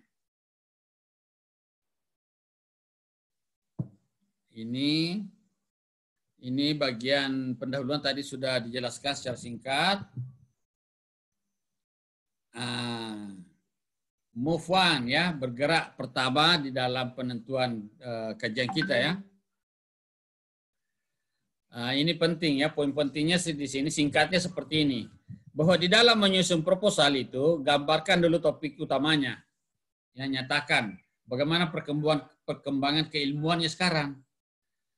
Kemudian eh, gambarkan karakter utamanya, ya, karakter kunci. Misalnya di starting, nanti ada proposal di belakang. Setelah ini saya akan jelaskan. Yang kedua adalah summarizing previous research. Ini sangat penting ini ya. Membuat ringkasan studi sebelumnya yang telah dilakukan oleh orang lain yang mendahului penelitian kita. Jadi siapa penelitian yang menjadi acuan penelitian yang kita lakukan? Itu harus ada. Jadi misalnya dari 10 penelitian Q1 dari jurnal bereputasi tinggi, yang mana dari 10 jurnal itu yang menjadi eh, payung riset yang kita lakukan. Jadi ini yang disebut dengan summarizing previous research. Ini kuncinya nih, ya. ini kunci yang sangat penting ini. Dan ini harus dimunculkan di latar belakang ini. Bahwa peneliti terbaik yang terkait misalnya dengan stunting siapa, setelah itu masukkan di daftar eh, latar belakang, di bagian depan, baru ku- kunci, baru ikuti arahan dari eh, studi itu. Apa ada rekomendasinya? Di bagian akhir artikel previous research ini itu ada rekomendasinya. Ambil kata kunci rekomendasi dari artikel itu, masukkan di proposal bagian awalnya. Itulah yang menjadi jembatan penelitian orang lain ke penelitian kita. Inilah esensi dari research, pencarian ulang. Re kembali, search mencari ya. Jadi research itu artinya pencarian ulang. Apa yang telah telah dilakukan oleh orang lain, kita lakukan kembali dengan pendekatan yang berbeda, dengan desain yang berbeda, dengan penambahan variabel yang berbeda, dengan modifikasi instrumen yang berbeda pula. Setelah kita melakukan summarizing previous research, biasanya summarizing ini kalau kita mau lebih cepat eh, shortcut untuk summarize itu adalah download meta analisis temanya. Jadi kembali lagi ya, jangan lupa mendownload meta analisis artikel utama terkait dengan rencana penelitiannya. Dari situ nanti telusuri daftar pustakanya. Karena setiap meta analisis itu meta analisis itu artinya sebuah artikel yang ditayangkan merupakan riset di atas riset. Nah, dalam pembuktian evidence, di dalam pembuktian evidence, meta analisis itu sangat bagus, tinggi nilainya. Jadi karena tinggi nilainya, jangan tinggalkan artikel meta analisis sebagai rujukan utama di dalam pengembangan proposal penelitiannya. Move ketiga, preparing for present research case ya. Jadi siapkan penelitian yang akan dilakukan, indikator, gap previous research ya. Jadi ini penting nih. Pelajari apa gap dari penelitian yang telah disampaikan itu, apa kesenjangannya, apa gap, apa ketimpangannya ya. Setelah kita mengetahui apa ketimpangan dari artikel itu, kemudian raising question about previous research. Susunlah, kembangkanlah pertanyaan penelitian terkait dengan penelitian sebelumnya. Jadi sekarang mencoba melangkah risetnya si A ini, kemudian kita meningkatkan nilai pertanyaannya ya, mendalami pertanyaannya kembali. Jadi riset pertanyaan hasilnya itu kita pertanyakan kembali, kita bantah, kita sanggah menjadi sebuah penelitian ulang ya, menjadi sebuah penelitian pendahuluan, penelitian baru. Setelah itu kita extending finding, menelusuri temuan-temuan yang telah dan akan kita lakukan. Move keempat, introducing present research ya. ya malah memperkenalkan riset yang akan kita lakukan, menyatakan kegunaan penelitian kita, gambarkan secara jelas penelitian-penelitian yang akan kita lakukan. Nah, ini secara singkat hal-hal yang penting terkait dengan bagaimana membangun ide-ide riset yang akan kita lakukan. Berikutnya adalah syarat untuk rumusan masalah. Bagaimana rumusan masalah yang baik? Nah, ini tentu menjadi pertanyaan ya. Rumusan yang masalah yang baik ini menurut Hule dan Kamin itu dijelaskan nih. Visible. Visible itu artinya layak dilaksanakan. Mengapa layak? Karena ada subjeknya, ada sampelnya, ada dananya, waktunya cukup, ada peralatannya, ada labnya, ada ahlinya. Nah ini. Jadi kalau memilih tema, pastikan ada nggak sampelnya nih. Lokasinya dapat saya jangkau tidak? Dananya cukup apa tidak? Waktunya cukup apa tidak? Alat labnya tersedia tidak? Ada ahli yang saya bisa jadikan tempat bertanya atau tidak? Ini poin yang penting dijawab dulu nih ya, visibility, kelayakan. Apakah penelitian ini layak? Nah, tentu kalau orang bertanya apa kelayakannya, berarti dia bertanya tentang subjeknya nih. Tersedia nggak subjeknya? Saya mau meneliti sesuatu yang sangat tinggi tapi tidak ada subjeknya, itu tidak layak. Tidak ada dananya, waktunya tidak cukup, pandemik, ada alatnya tidak, labnya tidak tersedia, atau tidak ada ahlinya, maka penelitian itu tidak layak. Yang kedua adalah interesting, menarik bagi peneliti. Jangan mencoba meneliti yang kamu tidak tertarik terhadapnya. Jadi selalulah meneliti terhadap hal-hal yang kita minati. Saya berminat meneliti tentang stunting. Saya berminat meneliti tentang diabetik. Maka itulah yang menjadi minat saya. Saya kembangkan menjadi kajian-kajian. Yang ketiga adalah novel, ya memberi hal baru atau original. Jadi ini selalu pertanyaan ya apa novelty ini? Berarti dia bertanya tentang apa kebaruannya. Apa kontribusi kebaruan riset ini? Yang keempat adalah etis. Jadi penelitian yang baik sekarang itu harus ada selalu kode etik. Ya harus diambilkan uji lulus etik dari university ya. Misalnya dari Fakultas Kedokteran atau di FKM itu kami ada Dewan Etik. Yang kelima adalah studi itu harus relevan. Ya, relevan dalam pengertian relevan bagi IPTEK, aplikasi praktis dan dasar studi lanjutan. Jadi inilah dasar-dasar untuk merumuskan masalah yang baik. Visible, biasa disingkat dengan FINER ya, FINER ini. FINER, visible, interesting, novel, dan ethical serta relevan.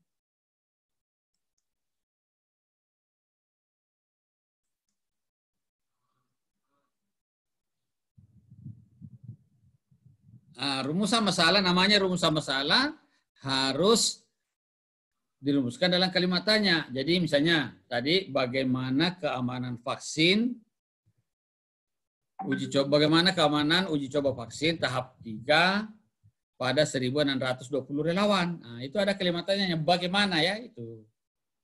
Melibatkan dua variabel atau lebih ya. Bagaimana hubungan intervensi sensitif terhadap pengendalian stunting. Nah, jadi dua variabel yang dihubungkan harus dapat dihubungkan dengan kerangka teori tertentu. Jadi rumusan masalah itu ada kerangka teori dibangun sebelumnya. Semua kalimat yang dirumuskan ini harus muncul di kerangka teori atau kerangka konsep kita.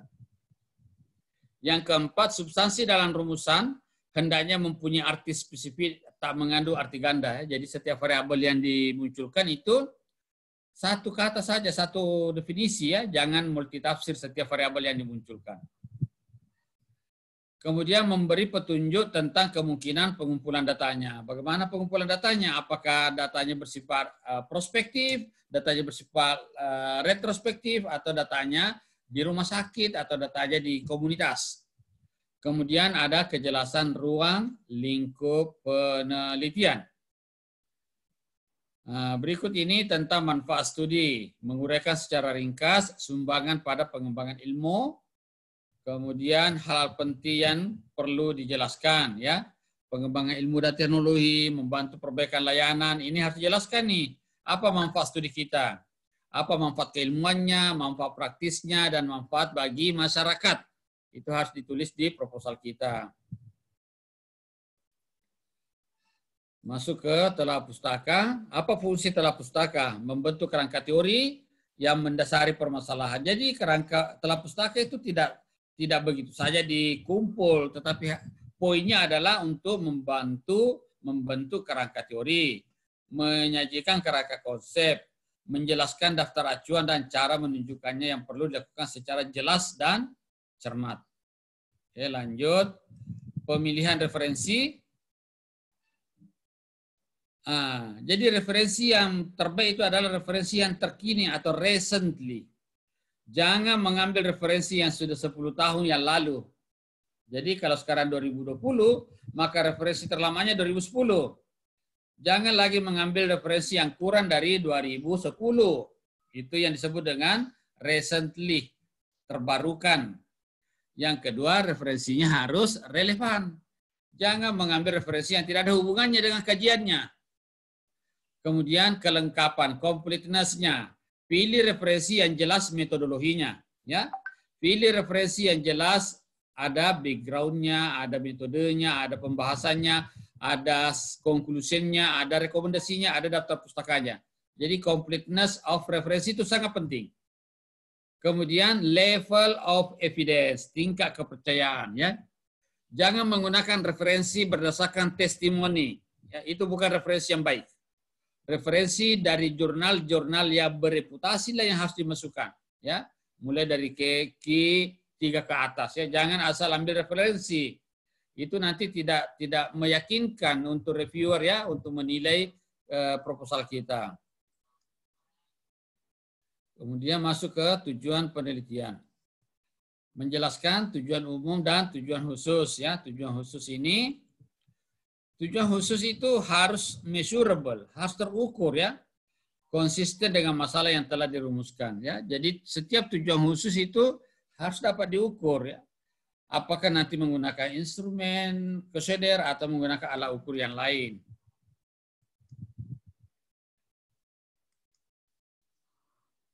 Kemudian mendeskripsikan berbagai komponen, misalnya desain studinya, apakah kuantitatif, kualitatif, populasi referensinya atau rujukannya, populasi studinya, respondennya, berapa jumlahnya, cara mendapatkannya, apakah random atau non-random, kerangka sampel yang digunakan, apakah menggunakan daftar hadir, daftar admisi, atau daftar-daftar yang lain.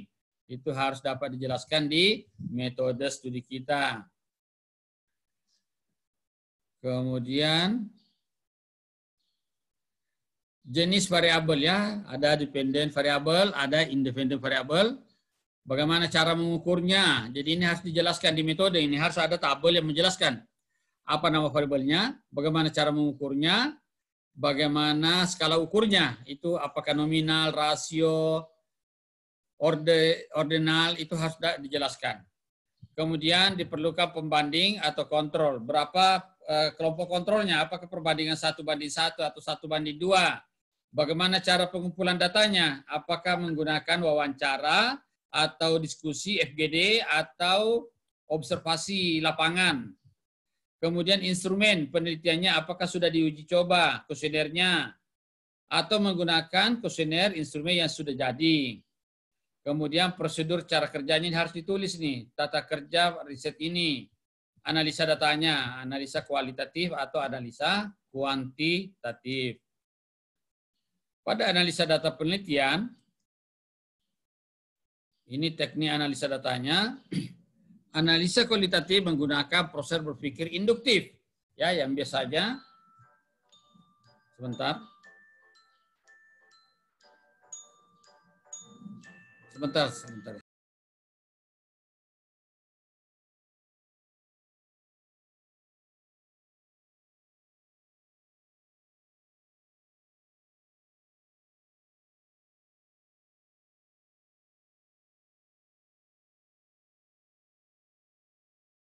Oke, saya lanjutkan. Ini teknik analisa data tadi. Analisa kuanti digunakan untuk data hasil pengukuran bentuk angka baik hasil konversi ya. Jadi ini uh, perlu di, dipertajam.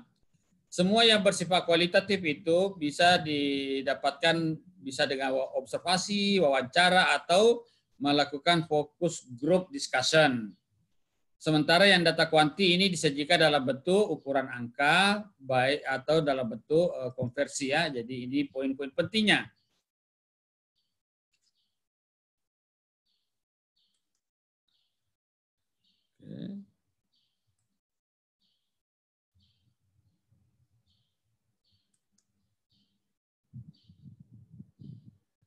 Jadwal waktunya ini sudah tentu sudah harus sesuaikan ya waktu pelaksanaan penelitian kita.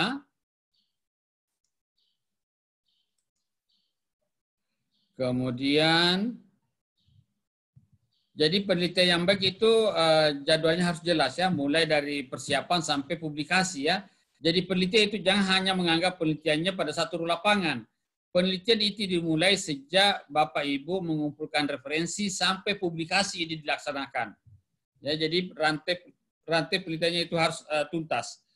Mulai dari awal mengumpulkan bahan, menulis proposal sampai pada publikasi. Itu adalah rangkaian sebuah penelitian.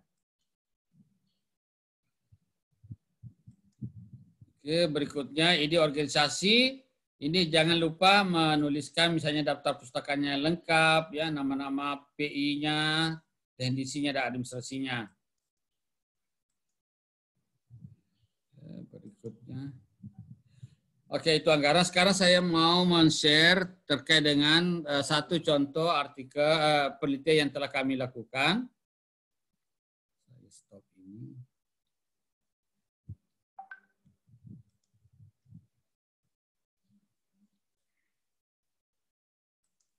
Stop share-nya di mana?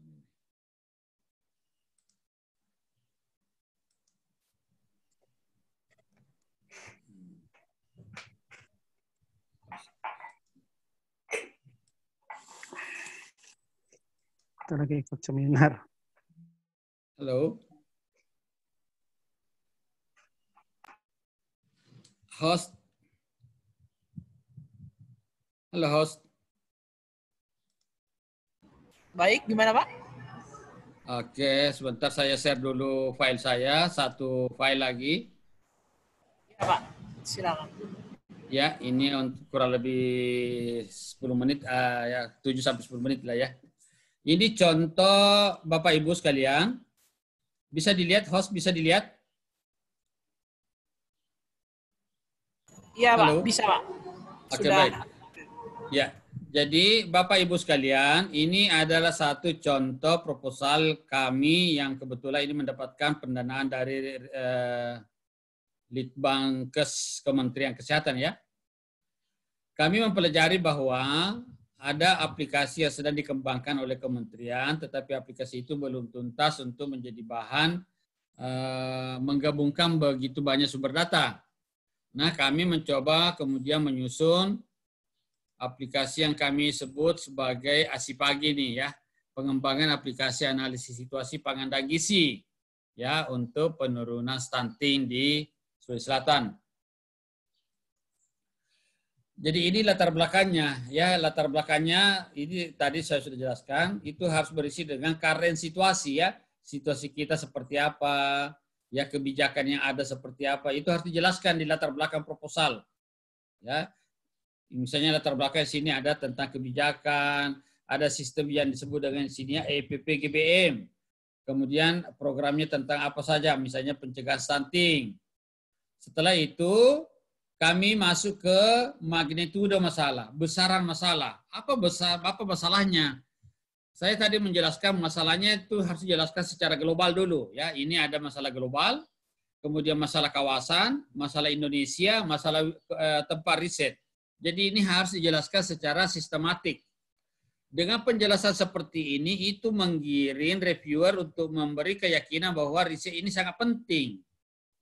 Dan kita mengetahui bahwa riset-riset ini dibutuhkan ke depan. Jadi ini yang disebut dengan uh, pendalaman masalah dengan menggunakan pendekatan piramida terbalik. Setelah itu, ini gapnya ya, gap diskrepansinya. Apa ketimpangan yang ada? Kesenjangannya di mana? Oh, kesenjangannya itu ada ada istilah konvergensi program ya, ada program spesifik, ada program sensitif. Nah, ternyata program itu berjalan sendiri-sendiri. Nah, itu ketimpangan yang kami lihat. Itu yang kami coba pertemukan dalam satu studi.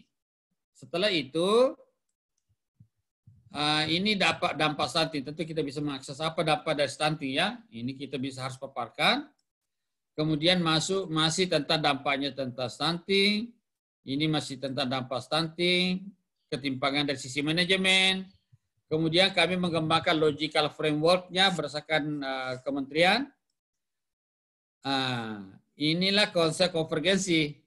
Ini begitu banyak kementerian terlibat dan semua bekerja sendiri-sendiri. Di situ poinnya.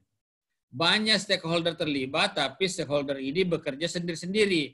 Yang kita butuhkan dalam program adalah bagaimana seluruh stakeholder ini, baik program intervensi yang spesifik maupun sensitif, itu bekerja secara bersama-sama sehingga memberikan daya ungkit di dalam percepatan pengendalian eh, pengendalian stunting. Kemudian kami menunjukkan kami masuk di pilar keberapa. Setelah itu dirumuskan masalahnya. Kemudian nah ini masalah masih rumusan masalah. Kemudian ini pertanyaan penelitiannya. Bagaimana cara mengembangkan programnya, aplikasi apa, bagaimana kehandalan aplikasinya. Kemudian ini tujuan umumnya. Setelah itu masuk ke tujuan khusus. Apa tujuan khususnya? Untuk mengetahui gambaran kerjasama lintas sektor, pengetahuan, peran informasi, mengetahui gambaran, manajemen, fungsi aplikasi, dan seterusnya. Itu tujuan khususnya. Kemudian tujuan khusus selanjutnya di IT, ini panjang ini ya. Oke, ini manfaatnya harus dijabarkan. Kerangka teorinya sederhana ini kerangka teorinya nih. Ini dari pembacaan menggunakan siklus 3A, analisis penyebab, aksi, asesmen, ya itu poin yang kami gunakan.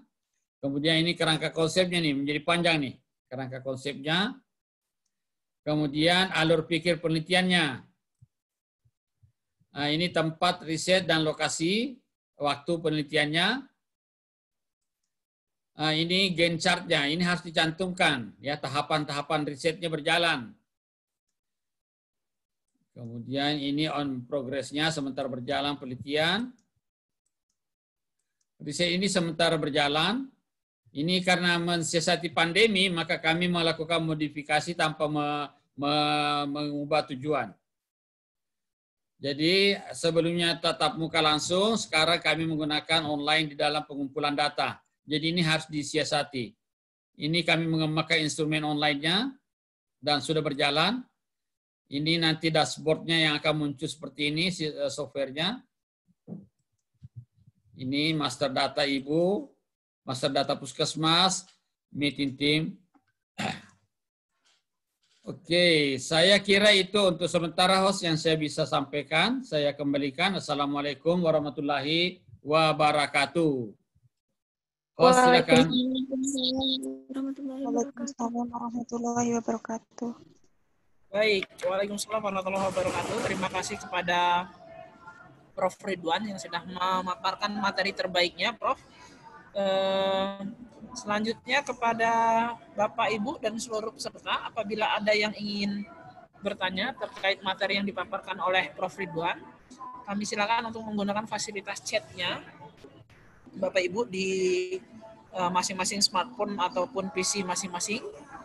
Eh, ataupun kalau ada yang ingin bertanya sembari kita menanti yang sedang mengetik, kami silakan untuk uh, mungkin ada yang berpikir untuk bertanya langsung ya. Kami izinkan untuk uh, menyalakan audionya, tapi tentu secara bergantian dan bertahap. Adakah Bapak Ibu yang ingin bertanya?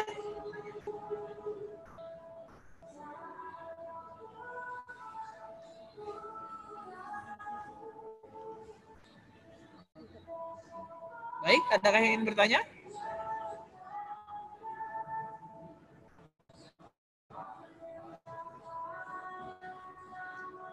Ya, sembari menanti saya akan lihat dulu di chatnya apakah sudah ada yang bertanya atau belum.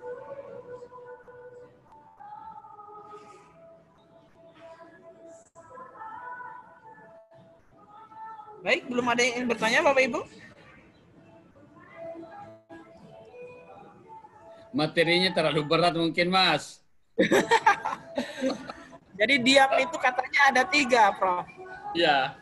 pertama Ya. mengerti, kedua belum mengerti, yang ketiga Ya. terpesona, Prof. Jadi kita nantikan saja ya. Ada Mbak Retno nih, tanya dulu ada Mbak Retno nih, Mbak Retno. Pak Retno. Mbak Retno Palupi. Ya, special request tuh, Pak Retno Ya. Mbak Retno, ayo bertanya Mbak Retno. SKM, baik. Pak Retno boleh menyalakan audionya, Pak Retno? Disapa langsung oleh pembicara kita nih, jauh-jauh dari Unhas.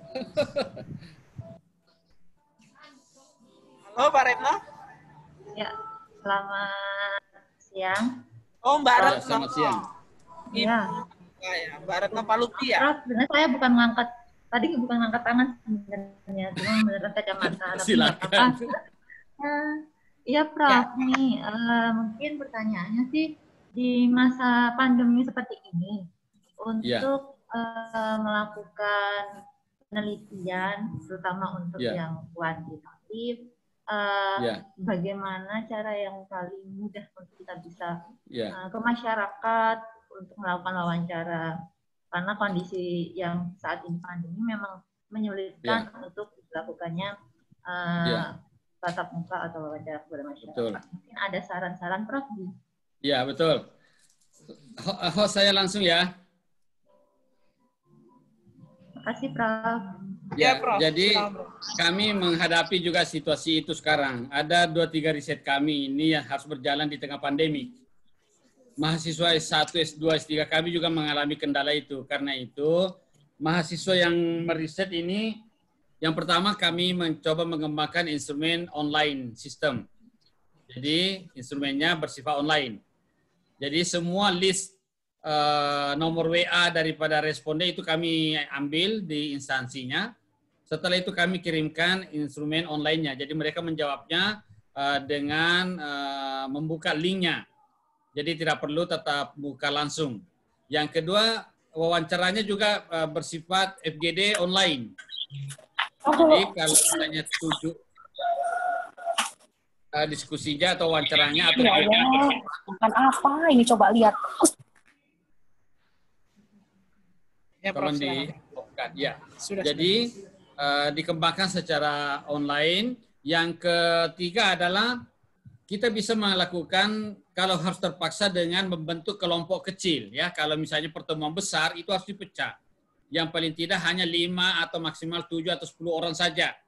Jadi pertemuan-pertemuan kelompok kecil itu yang dikembangkan baik di puskesmas atau di posyandu atau di tempat-tempat sampel berada lebih lebih besar. Jadi itu harus disiasati. Jangan karena pandemi risetnya berhenti. Pandemi ini adalah tantangan kita untuk melakukan riset, terutama riset berbasis online. Jadi gunakan Google Dokumen, Google Survey untuk melakukan riset. Dengan Google Survey, kita bisa melakukan riset ratusan ribuan sampel dan Bapak Ibu datanya langsung masuk ke sistem kita, kita tinggal mengolahnya saja. Jadi ini kesempatan sekarang menggunakan Google Dokumen untuk melakukan survei-survei online. Ada gambarnya, seminarnya. Jangan menggunakan survei manual sekarang situasi sekarang ini. Jadi buat instrumennya dalam bentuk eh, online system, FGD-nya juga bisa dengan online. Kemudian kalau terpaksa membentuk kelompok-kelompok kecil. Jadi pertemuan-pertemuan kecil saja, 5 7 orang begitu. Jadi tidak melanggar protokol, masih kita bisa laksanakan studi seperti ini. Begitu Mbak Retno. Ya Prof. Kalau untuk eh, penelitian yang membutuhkan observasi bagaimana ya dok? Ya Prof. Oke. Jadi observasi itu kan ada banyak jenisnya ya, misalnya cross sectional case control atau cohort study. Eh, hampir sama pendekatannya. Jadi eh, kita sudah menentukan eh, lokasi riset kita. Lokasi riset kita misalnya saya di Kota Makassar. Ada satu puskesmas, maka saya harus berkunjung ke puskesmas tersebut dengan tetap mempertahankan protokol kesehatan. Ya, menjaga protokol kesehatan, masker, jarak dan seterusnya. Itu sebenarnya poinnya penelitian ini tidak dihalangi oleh pandemi ini sepanjang kita menegakkan protokol kesehatan. Itu Mbak Retno. Silakan host IMC Tredi. Baik. Eh, apakah suara saya cukup terdengar jelas, Prof? Jelas, jelas. Jelas, baik. Ya, eh, terima kasih untuk Mbak Retno, Palu PSKM yang sudah mewakilkan Ecet itu, Mas. Ya. Selanjutnya di sini ada beberapa pertanyaan di chat Bapak Ibu. Saya akan coba pilih beberapa ya.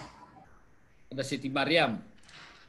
Iya, kita mulai dari atas dulu, Prof. Jadi di sini Assalamualaikum, izin perkenalkan nama saya Rahma Mita dari Universitas Mitra Indonesia.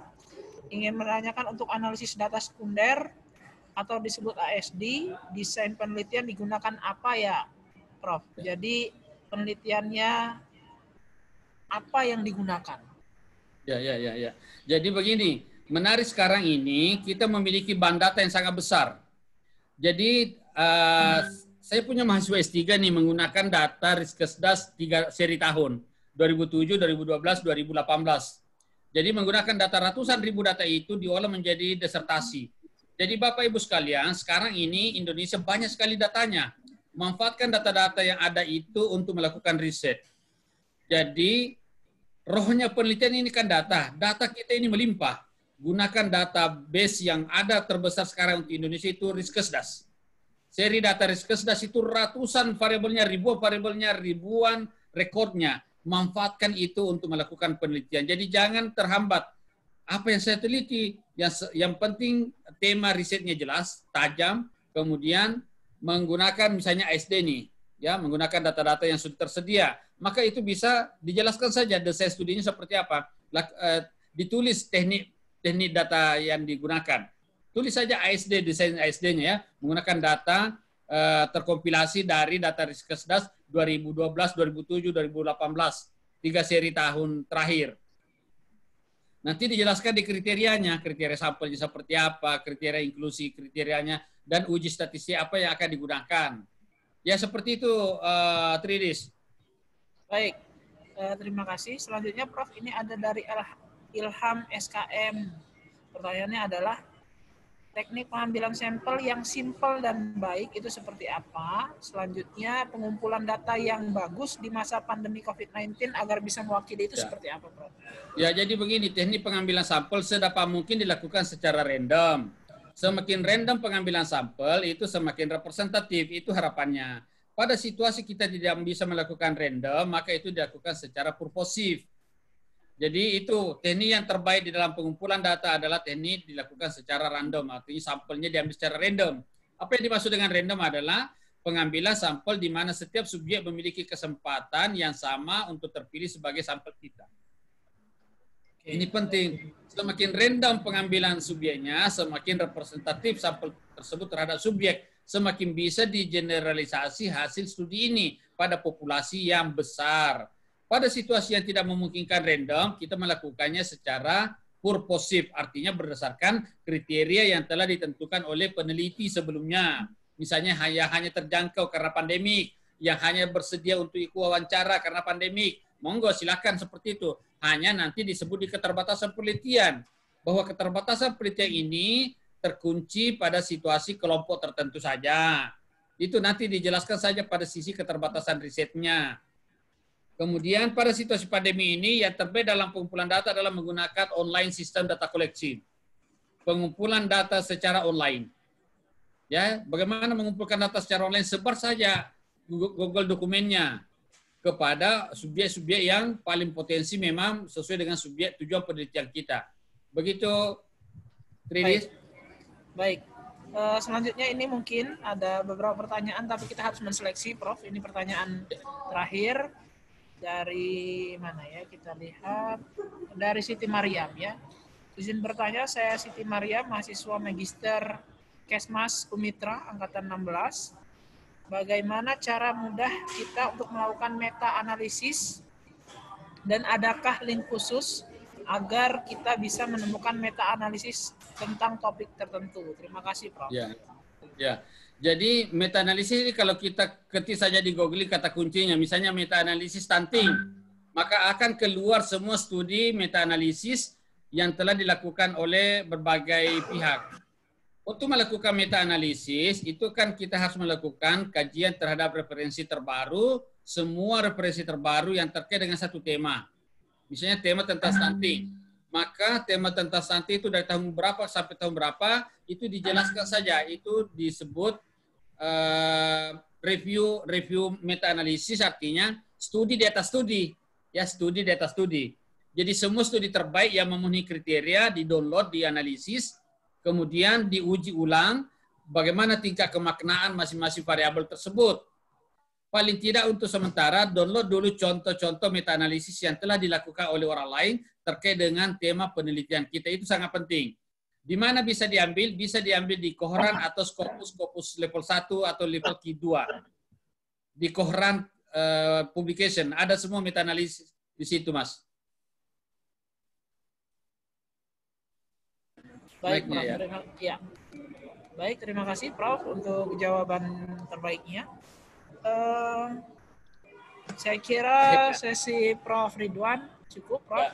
Eh, terima Ya. kasih juga kepada seluruh peserta yang sudah eh, mengikuti Ya ya, yang ampun, sambil tidur tiduran. Kenapa, Bapak M Rifki? Oke, Eh, mungkin terpencet tadi. Mungkin di sesi terakhir kita mohon Prof Ridwan untuk memberikan closing statement, Prof, Oh, ya. terkait eh, materi hari ini.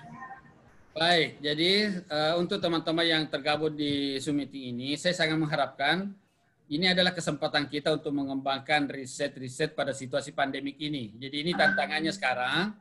Eh, tantangannya pandemi ini adalah tantangan bagi ilmu pengetahuan. Ya, pandemi ini adalah tantangan bagi ilmu pengetahuan. Tantangan bagi kita untuk mengeluarkan terobosan-terobosan ide-ide baru dalam upaya pengendalian masalah kesehatan. Ini adalah masalah public health. Ini adalah masalah nursing, masalah keperawatan, mindfree. Bagaimana keamanan pasien kita, bagaimana keamanan perawat kita, bagaimana keamanan bidan kita, bagaimana keamanan bidan tenaga kesehatan kita di situasi pandemi ini. Ini butuh studi yang panjang, ini butuh kajian yang mendalam. Jadi sangat diharapkan teman-teman yang ingin melakukan riset, fokuskan sekarang risetnya terhadap bagaimana solusi terhadap pengelolaan pandemi pada situasi seperti sekarang ini. Jadi tema-tema pandemi COVID-19 ke depan ini akan menjadi isu yang sangat trendsetter dan sangat dibutuhkan banyak jurnal terkait dengan pandemi COVID-19. Karena itu harapannya gunakan metode-metode penelitian yang kuat, yang handal untuk melakukan publikasi terkait dengan tema yang sekarang eh, isu sekarang seperti ini. Selamat meneliti, selamat eh, berkontribusi terhadap ilmu pengetahuan. Mari kita membangun kolaborasi. Untuk teman-teman yang ingin berdiskusi, jangan lupa kontak saya. Kita bisa sharing-sharing ide tentang pengembangan metodenya, desainnya, dan instrumennya. Saya kira demikian. Makasih. Assalamualaikum warahmatullahi wabarakatuh. Waalaikumsalam warahmatullahi wabarakatuh. Terima kasih banyak. Prof Ridwan, salam hangat dari Provinsi Lampung dan berbagai provinsi se-Indonesia yang hadir di webinar seminar kita pada pagi menjelang siang ini. Terima kasih Prof Ridwan sekali lagi. Saya izin ya, saya bawa ke materi sebelah ya. Ya, baik. Baik, Bapak Ibu, terima kasih banyak untuk eh, tetap ada di meeting room kita pada pagi hari ini dan satu lagi kita akan dengarkan eh, satu materi dari pembicara kedua kita. Saya yakin pembicaranya sudah tidak asing lagi bagi sebagian orang yang aktif dalam mengikuti kegiatan webinar baik online maupun offline. Eh, Ibu Aprina, apakah Ibu Aprina sudah online? Mohon eh, menyalakan audio dan videonya Ibu Aprina. Siap, siap. Siap, hadir. Ya, sebentar saya cek dulu Ibu Aprina. Saya spotlight dulu videonya. Baik. Ya, siap. Ibu Aprina dari mana nih posisinya? Dari rumah? Ada di, iya. Di rumah ya. Ada di rumah. Baik, Bapak Ibu, sebelum kita mendengarkan materi dari Ibu Aprina, saya akan bacakan dulu CV dari beliau. Ya, seperti di layar monitor dan HP Bapak Ibu semua bisa kita lihat bahwa pembicara kita pada hari ini yang kedua bernama Dr. Aprina Eskep Mkes ya. Di situ ada banyak link eh, kontak personnya mulai dari HP, email dan yang terbaru ada Instagramnya ya Ibu Aprina. Eh, dan riwayat pendidikan beliau, beliau mengawali D3 keperawatannya di Upper RSPJ 1987, kemudian menyelesaikan S1 keperawatan di FIK UI 1999, S2 Kesmas Urindo 2004 dan S3 Manajemen Pendidikan di tahun 2014. Pekerjaan beliau hari ini adalah sebagai uh, dosen ya di dosen Poltekkes Tanjung Karang sejak tahun 2005 sampai dengan sekarang dan pasca sarjana uh, kesehatan masyarakat. Dan beliau juga dinobatkan sebagai sebentar saya lihat dulu, saya geser dulu nih.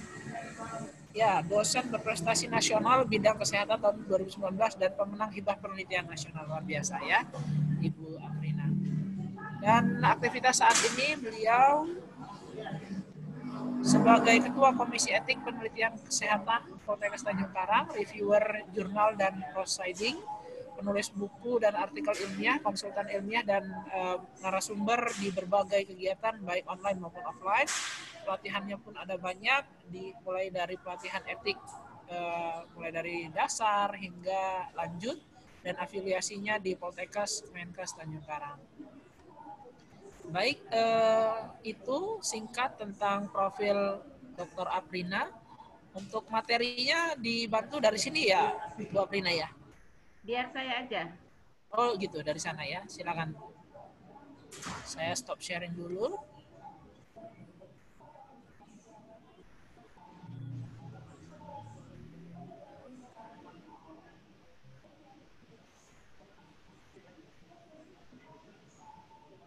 Keluar ya?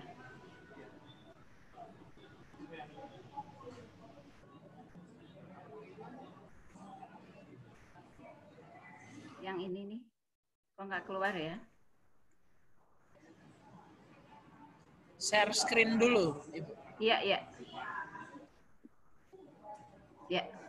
Ya.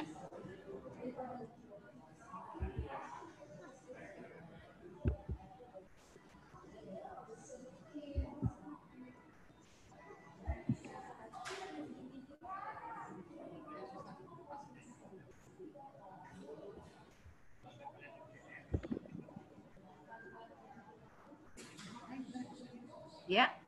Bisa kita mulai? Ya, silakan Ibu Aprina.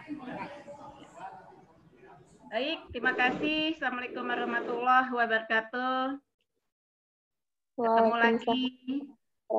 Ya, ketemu lagi ya teman-teman semua dengan saya tidak bosan-bosan tentunya. Nah, kali ini kita akan membahas tentang etik penelitian kesehatan. Juga bagaimana nanti kita bisa mengkaitkannya dengan aplikasinya, tentunya seperti itu. Ya, ini pesertanya macam-macam tentunya ya, ada dari Lampung dan luar Lampung juga. Baik, kita mulai saja etik penelitian kesehatan. Apa yang harus kita capai hari ini? Kita harus membahas tentang konsep etik penelitian kesehatan. Nah, bagaimana kita harus menyusun protokol yang etis, ya tentunya ini ada kaidah-kaidahnya agar tidak sampai jangan sampai penelitian itu atau protokol yang kita buat itu tidak menjadi etis sehingga tidak bisa dikeluarkan suatu kaji etik atau ethical clearance. Dan juga nanti kita juga akan membahas bagaimana tata laksana proses kaji etik. Ada tahap-tahapannya yang harus kita lalui sehingga mendapatkan ethical clearance dari satu institusi. Tentunya bisa institusinya rumah sakit atau di pelayanan, juga bisa institusi di bidang pendidikan. Nah, terakhir kita juga akan mengaplikasikan karena sekarang ini kita sudah masuk kepada aplikasi-aplikasi yang online. Nah, SIM EPK yang kita gunakan sekarang adalah SIM EPK yang terkait dengan SIM EPK CAPCAN jadi uh, SIM uh, apa namanya etik penelitian Komisi Etik Penelitian Nasional. Jadi kalau kalian teman-teman semua melakukan kaji etik itu nanti akan memilih di mana dilakukan penelitian kesehatannya atau uh, apa namanya protokol yang harus dilakukan kaji etik. Nah, saya beri gambaran sedikit bahwa kaji etik yang ada di Indonesia ini sudah online khusus untuk penelitian bidang kesehatan yang melibatkan manusia. Jadi ada beberapa kaji etik yang sudah online dan banyak juga kaji etik atau komisi etik yang belum melakukan penelitian atau belum melakukan proses kaji etik yang online. Nah, tidak masalah sih sebenarnya. Hanya saja kalau kita menggunakan kaji etik yang sifatnya online, itu sudah terhubung dengan KEPK secara nasional.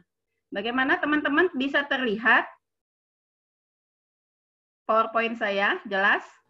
Ya, terlihat dan cukup jelas, Ibu. Oke, baik.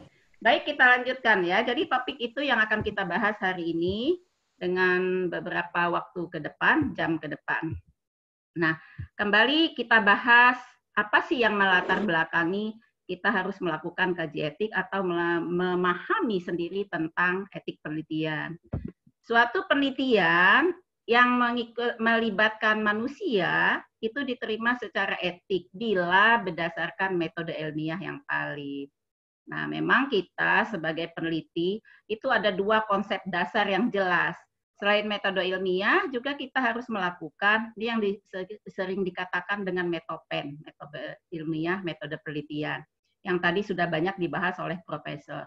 Kemudian yang satu adalah etik, ya. Jadi kita selain metopen juga kita harus membahas kajian tentang etik. Kenapa itu penting? Karena tentunya karena penelitian-penelitian kita melibatkan manusia. Kalau penelitian-penelitian melibatkan manusia, tentunya harus didasarkan suatu prinsip-prinsip yang etik. Tidak akan bi bisa dikeluarkan kaji etik atau ethical clearance kalau penelitian kita itu atau protokol yang kita lakukan kaji etik itu tidak didasarkan atas konsep-konsep yang etis. Nah, penelitian yang tidak valid secara ilmiah itu mengakibatkan peserta penelitian dan komunitasnya mendapat risiko ya risikonya lebih besar tentunya daripada manfaat. Padahal sebenarnya kita harapkan risikonya itu tidak ada kepada subjek kita karena subjek itu manusia. Hewan pun yang kita lakukan sebagai subjek itu juga harus ada batasannya ya. Misalnya contoh kita akan mengambil darah kepada hewan yang menjadi subjeknya. Tapi hewan tersebut kita harus tidak bisa semena-mena melakukannya, harus ada kaidah-kaidah yang perlu kita pahami secara etisnya. Demikian. Kemudian agar penelitian dan pengembangan kesehatan berjalan dengan baik, selayaknya seorang peneliti itu memahami wahas, wawasan berpikir ilmiah dan tentunya yang tidak kalah pentingnya adalah berpikir secara etis terkait dengan topik yang akan dia teliti dan tentunya yang diminati. Karena kalau kita melakukan penelitian yang kita tidak minati, itu akan mendapat dampak. Dampaknya apa ya? Namanya kita tidak meminatinya dan kita tidak menyenanginya. Penelitian-penelitian yang kita tidak senangi dan tidak kita minati itu tentunya banyak mengalami kendala. Yang pertama apa kendalanya? Kendalanya di dalam eh, metopen itu tadi, metopennya tidak paham. Kemudian secara substansi juga tidak paham. Kemudian yang lainnya adalah bagaimana melakukan proses kaji etik bahaya-bahaya yang akan dihadapi seorang peneliti itu juga akan mendapatkan suatu permasalahan. Oleh sebab itu memang perlu kita melakukan suatu uh, kajian sehingga akan mendapatkan suatu yang betul-betul bisa didasarkan atas metode ilmiah maupun yang secara etis. Kita lanjutkan sebagai peneliti yang etis itu bukan saja wajib menghargai kesediaan dan pengorbanan manusia, tetapi juga menghormati dan menghindungi kehidupan, kesehatan, keluasan, martabatnya dari subjek penelitian. Ini kudu ya, kalau sudah ngomong kudu ya tidak bisa ditawar lagi tentunya. Hal-hal itu harus kita hmm, apa namanya perhatikan tentunya. Nah, kita masuk dulu dengan konsep etiknya. Etik itu kita tahulah ya, sebenarnya berasal dari kata etika. Tetapi kalau kita sudah berbicara tentang etik, itu adalah bagaimana prinsip-prinsip itu etis ya. Kemudian dia harus mengetahui uh, mengetahui aturan yang normal yang di dalamnya yang dilakukan oleh masyarakat. Nah, itu tentunya yang menggarisbawahi di dalam kaidah ataupun Eh, kata daripada etik itu sendiri. Nah, yang menjadi dasar kenapa sih kita perlu melakukan suatu kaji etik? Ini dasar yang perlu kita garis bawahi. Kuncinya adalah ada ajas kemanusiaan. Bagaimana kita katakan bahwa sebagai ajas kemanusiaan? dia memberikan perlindungan serta menghormati terhadap hak hazazi manusia. Karena kita tadi kembali lagi penelitian kita adalah penelitian di bidang eh, kesehatan juga melibatkan manusia. Nah, itu tadi saya katakan penelitian yang melibatkan hewan aja ada kaidah-kaidahnya. Jangan sampai hewan itu tersakiti. Hewan yang seperti apa yang bisa kita lakukan eh, apa namanya konsep apa nama uji klinisnya sehingga tidak betul-betul uh, yang selepel dengan manusia artinya yang me, yang uh, sedikit uh, sama dengan struktur anatominya anatomi manusia. Nah, itu perlu kita garis bawahi. Yang kedua adalah ini tertera di dalam Undang-Undang Kesehatan Nomor 23 Tahun 92. Undang-Undang Kesehatan kita ketahui bahwa ada yang terbaru, tetapi ini yang membahas pedoman nasional penelitian kesehatan tentunya yang bertitik berat kepada uh, uh, apa namanya uh, komite uh, komite etik atau komisi uh, kom, apa namanya etik penelitian kesehatan. Lalu yang ketiga itu ada PP nomor 39 tahun 95 perlindungan hak-hak manusia sebagai subjek penelitian dan saksi pelanggaran. Nah, ini penting, penting banget. Ini dasarnya. Kenapa sih kita perlu kaji etik? Nah, betul-betul harus kita pahami. Kemudian kita lanjutkan ethical clearance. Itu kata saya tadi katakan, komisi etik itu melibatkan manusia, sehingga kita perlu lakukan kaji etik. Ethical clearance itu adalah suatu dokumen yang kita dapatkan dari tim etik yang sudah disetujui melalui proses dan betul-betul bisa dipertanggungjawabkan dan bisa dilakukan penelitiannya. Untuk subjeknya apa? Kepastian perlindungan terhadap subjek. Ya, jangan sampai tidak ada perlindungan Tadi saya katakan bahwa ajas kemanusiaan dan lain sebagainya, martabat harus dijaga.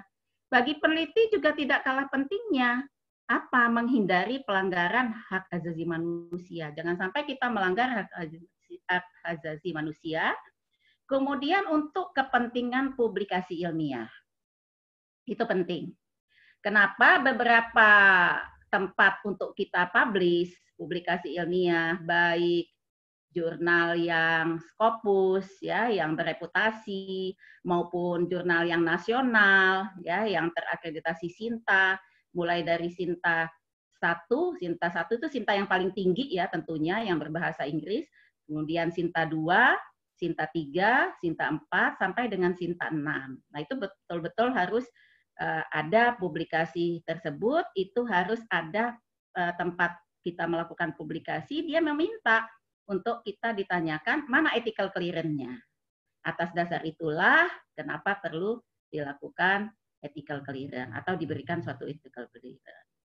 Kemudian yang tidak kalah pentingnya adalah untuk pencairan dana penelitian. Ya, untuk pencairan dana penelitian. Itu penting. Nah, beberapa peneliti punya dana. Untuk mahasiswa bisa nggak dapat dana? Ya, boleh saja sangat penting sangat sangat memungkinkan sekali. Dulu waktu saya S1 saya dapat dana penelitian, kemudian S2 juga dapat dana penelitian dan S3 juga demikian. Nah, untuk mahasiswa-mahasiswa yang kuliah dengan dana pribadi, bisa nggak mendapat dana penelitian? Sangat bisa. Kita mengajukan proposal, kemudian ikut lomba, dapat dana bisa 200, bisa 100, tergantung dengan topik yang akan kita bahas dan sudah bisa kita analisis besaran dana yang diperlukan. Nah, ketika untuk kita mendapatkan dana tersebut, yang pertama ditanyakan adalah ada nggak ethical clearance-nya, gitu ya. Oleh sebab itu, penelitian tidak bisa dilakukan kalau tidak setelah uji proposal, kalau tidak melakukan kaji etik, penelitian tersebut tidak bisa dijalankan. Nah, ini tentunya yang membatasi atau yang betul-betul yang harus diperhatikan, baik terhadap mahasiswa maupun terhadap peneliti, baik penelitian dosen maupun memang yang meminati penelitian-penelitian lainnya yang terkait dengan dunia kepenelitian tentunya harus mempunyai ethical clearance. Kita lanjutkan, selanjutnya adalah apa sih tujuan daripada ethical clearance? Nah, kembali ditegaskan adalah menjaga privasi, menjaga privasi daripada partisipan, subjeknya, ya. Kemudian kita memastikan integritas etik selama penelitian. Itu kudu ya, kudu sekali kita kita garis bawahi. Kemudian melaporkan semua kemungkinan yang terjadi di dalam penelitian. Kemungkinan-kemungkinan yang terjadi dalam penelitian itu apa antisipasinya, apa nanti permasalahan yang akan timbul, itu semua akan digambarkan di dalam protokol penelitian. Perlu saya garis bawahi bahwa kalau kita melakukan kaji etik, ya, melakukan kaji etik atau untuk mendapatkan ethical clearance, itu bukan proposal yang kita berikan. Yang kita berikan adalah protokol penelitian.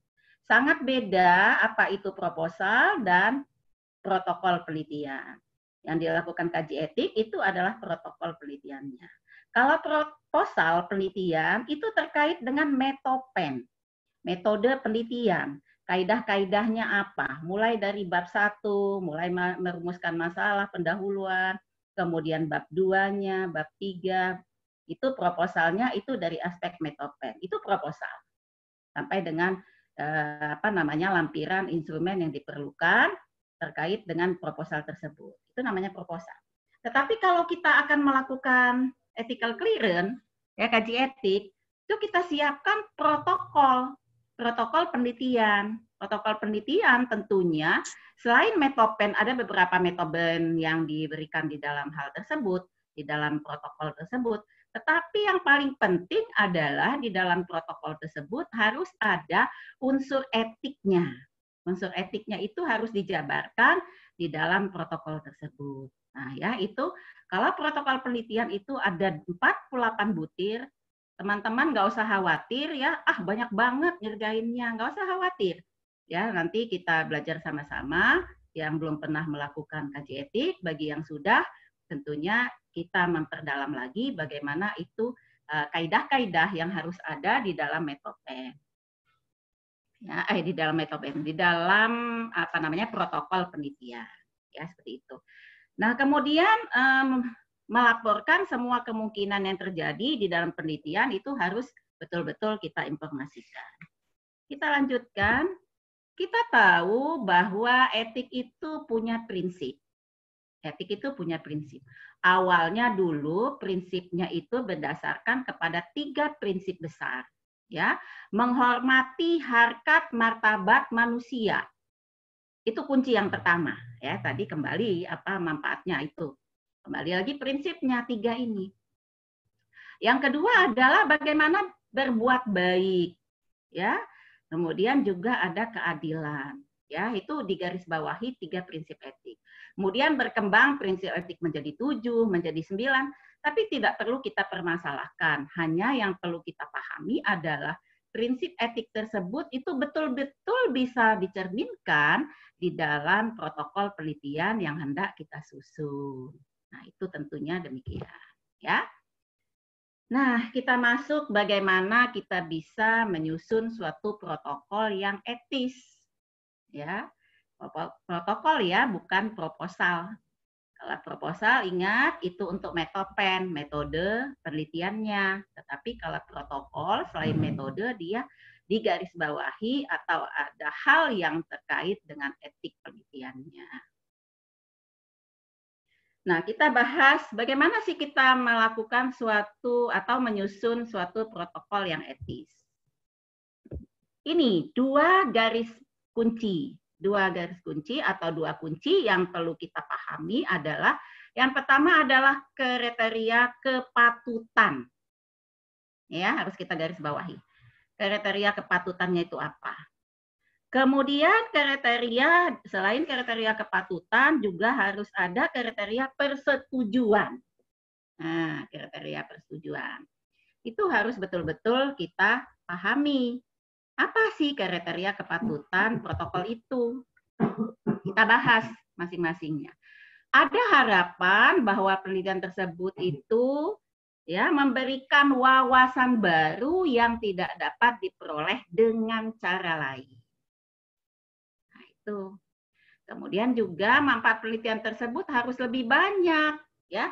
Kalau misalnya eh, penelitian itu kita lakukan tidak ada manfaatnya, kita tidak tidak tidak tidak perlu melakukan penelitian tersebut, nggak ada gunanya, ya. Sudah kita menghabiskan dana, menghabiskan waktu, ya tenaga dan tentunya banyak lain hal yang lain yang kita sudah keluarkan yang tidak ada manfaatnya untuk kepentingan ilmu pengetahuan dan teknologi. Dan yang paling penting kita garis bawahi adalah untuk pemanfaatan terhadap masyarakat agar masyarakat kita hidup menjadi sehat ya sepanjang daur kehidupan. Itu yang paling penting. Karena untuk apa kita melakukan penelitian yang nggak ada kaidahnya sama sekali, yang tidak ada gunanya, percuma kembali lagi saya tekankan. Kemudian kepentingan manusia subjek penelitian selalu ditempatkan di atas kepentingan ilmu pengetahuan. Itu juga harus kita pahami. Ya. Nah, selanjutnya penelitian tersebut harus sesuai dengan prinsip ilmiah. Kembali saya katakan harus sesuai dengan metode penelitian. Substansinya harus kita tegaskan, harus kita pahami. Juga selain itu adalah berdasarkan prinsip-prinsip etik, ya penelitian-penelitian yang hewan coba dan lain-lain juga harus kita buat secara ilmiah. Protokol penelitian tersebut harus jelas, ya tertulis, dinilai terlebih dahulu protokol tersebut oleh tim etik penelitian. Itu yang dikatakan tim komisi etik penelitian. Moga-moga saja itu eh, Pak Dekan masih ada ya Pak Jamil di sini masih ada nggak ya? Eh, itu host Pak Jamil masih ada? Halo? Halo? Iya. Halo, host? Halo, Halo? ada Bu. Ya, halo. Iya. Masih ada Bu. Halo Pak Jamil, masih ada ya? Ya. Masih, Moga-moga, siap. eh, Komisi Etik eh, Umitra sudah dibentuk ya Pak Jamil? Sudah, tinggal nunggu kapan pelatihan dari Poltekkes itu, Ibu. Oke, iya.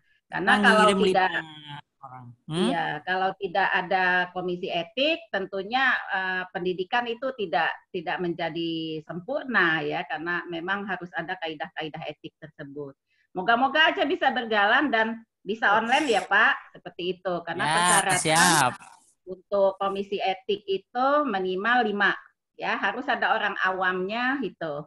Harus ada orang awamnya satu, kemudian harus terkaitan antara disiplin ilmu yang tentunya di bidang kesehatan.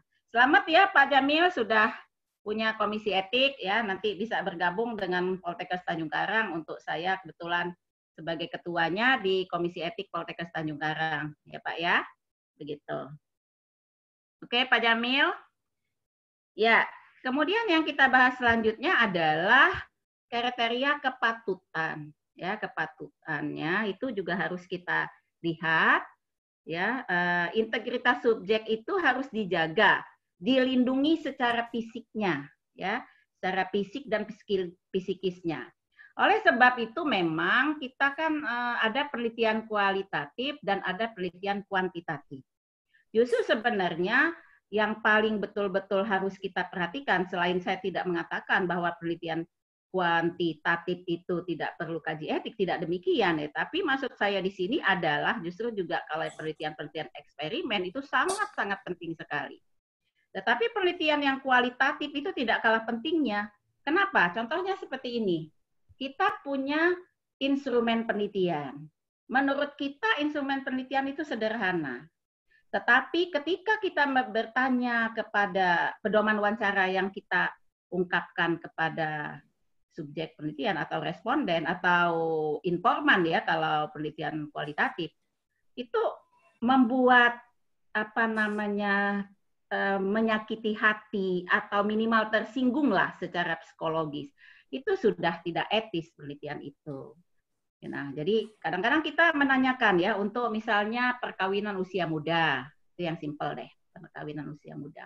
Kita tanyakan, kenapa kok bisa terjadi kehamilan di usia eh, apa namanya eh, pernikahan di usia muda? Sampai nanti kita memojokkan terus. Nah, itu tidak tidak di, disarankan, tidak dianjurkan ya. Eh, karena nanti itu secara psikis akan terganggu oleh responden tersebut atau informan tersebut. Nah, secara fisik juga jangan sampai, misalnya pengambilan darah.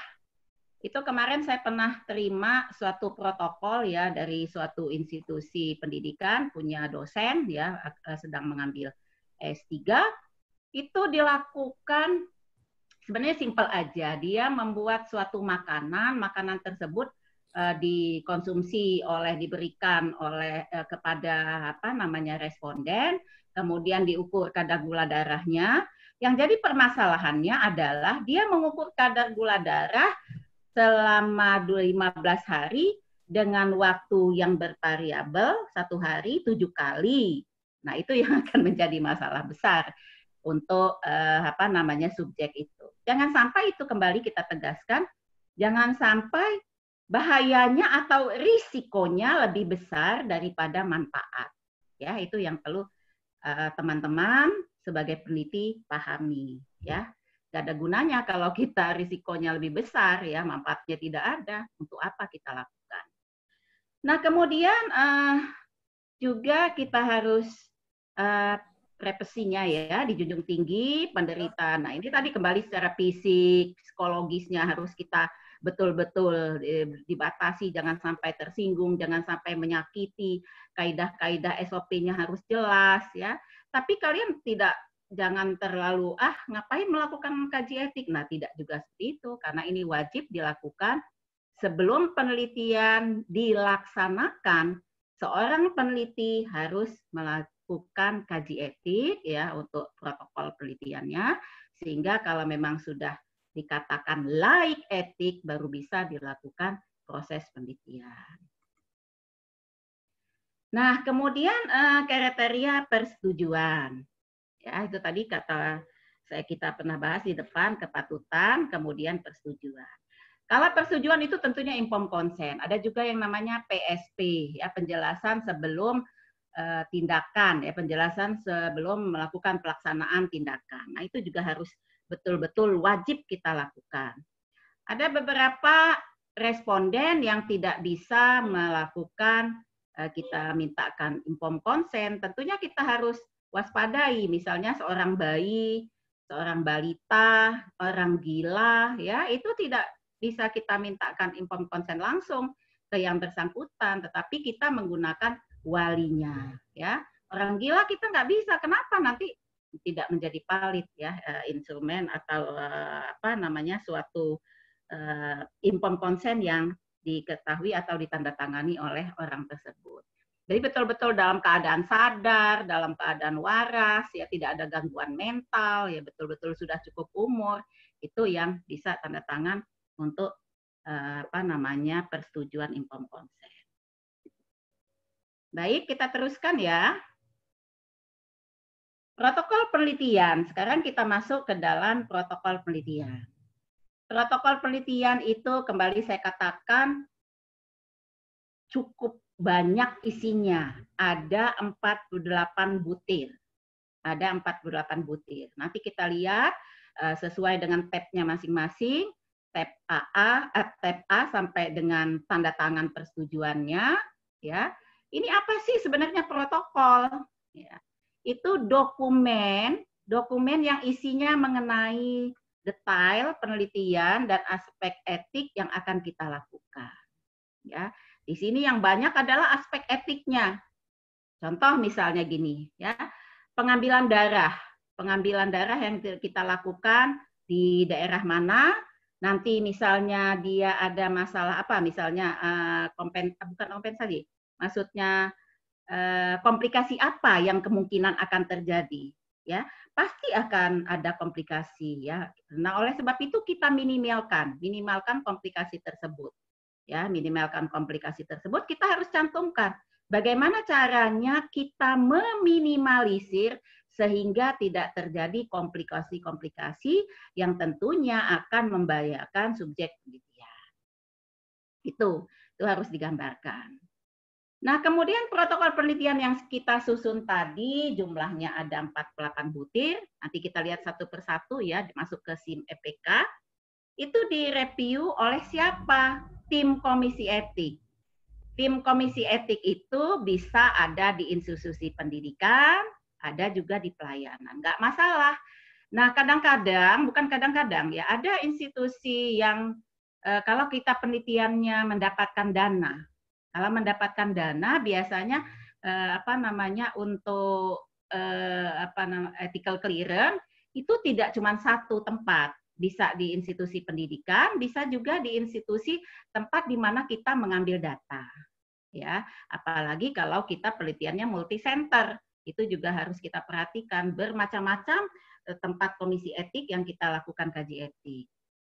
Nah, kemudian tidak eh, ke penelitian tidak dapat dilaksanakan sebelum ini. Ini nih yang penting ya anak-anakku, mahasiswa, dan ibu bapak sekalian, penelitian nggak boleh dilakukan kalau tidak ada atau belum ada ethical clearance yang dikeluarkan secara resmi oleh komite etik.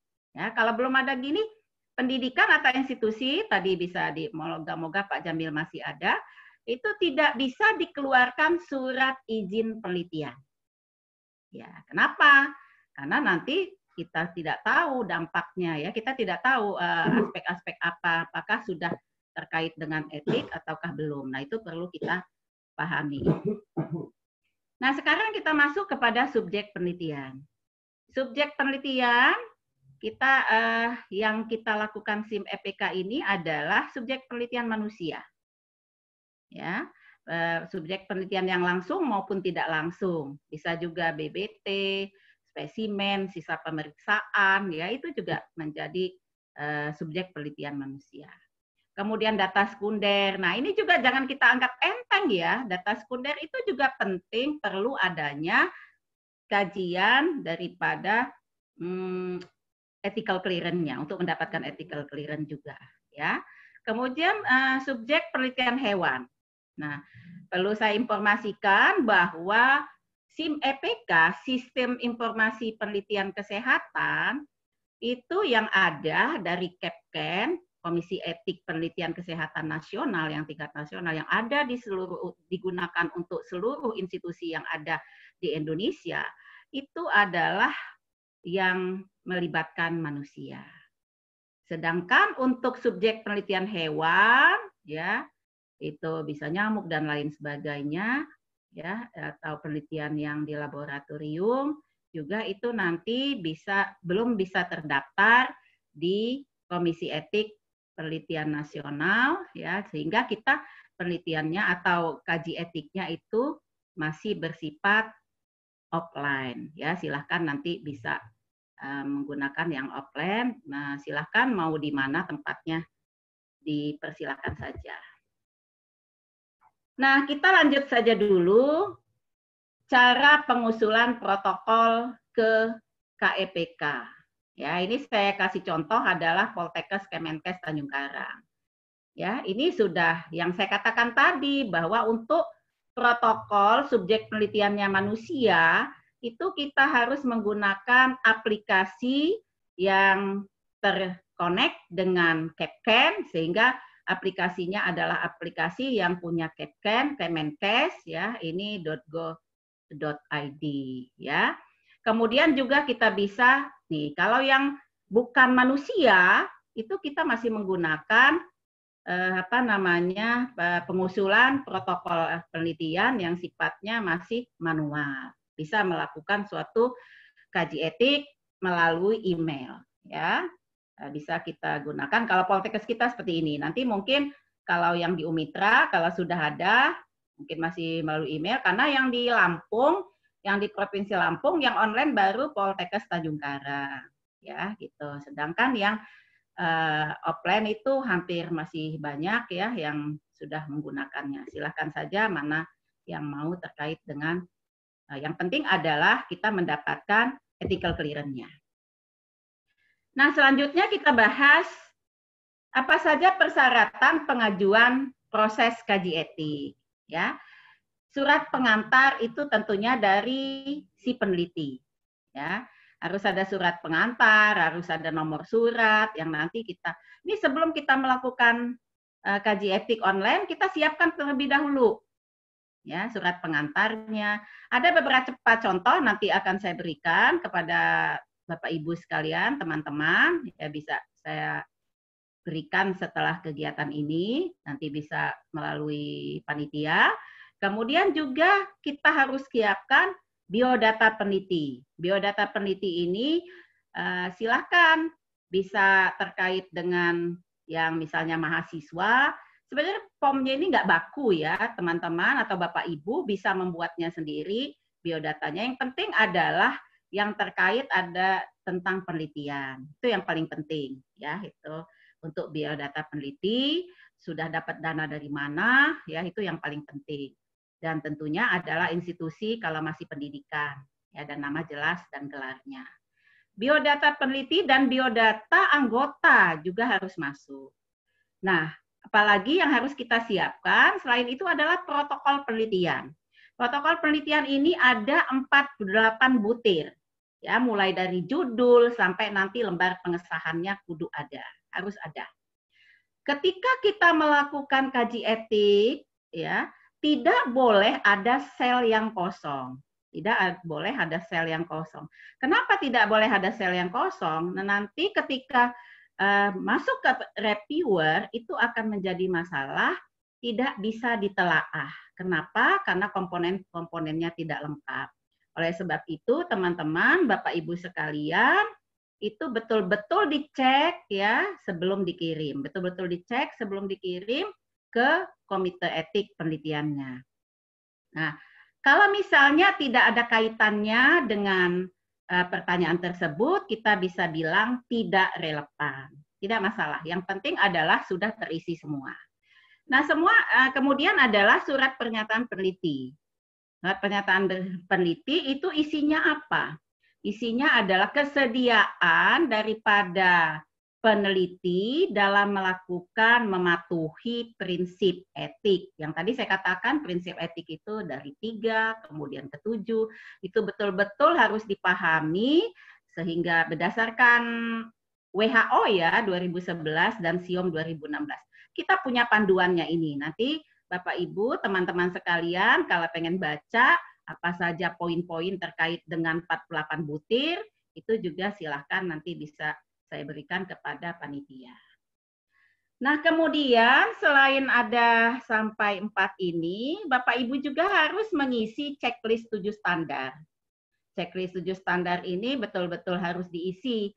Sebenarnya isian checklist tujuh standar ini, ini mencerminkan isi daripada protokol yang kita susun.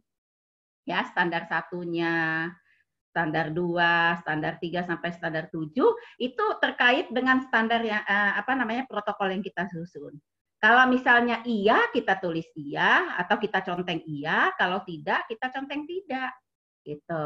Karena apa? Nanti checklist 7 standar ini itulah yang digandengkan oleh reviewer terhadap ke dalam ketika dia melakukan sinkronisasi antara apa yang dikatakan oleh si peneliti dengan apa hasil kajian daripada tim komisi etik. Jadi digandengkan, ya digandengkan seperti itu.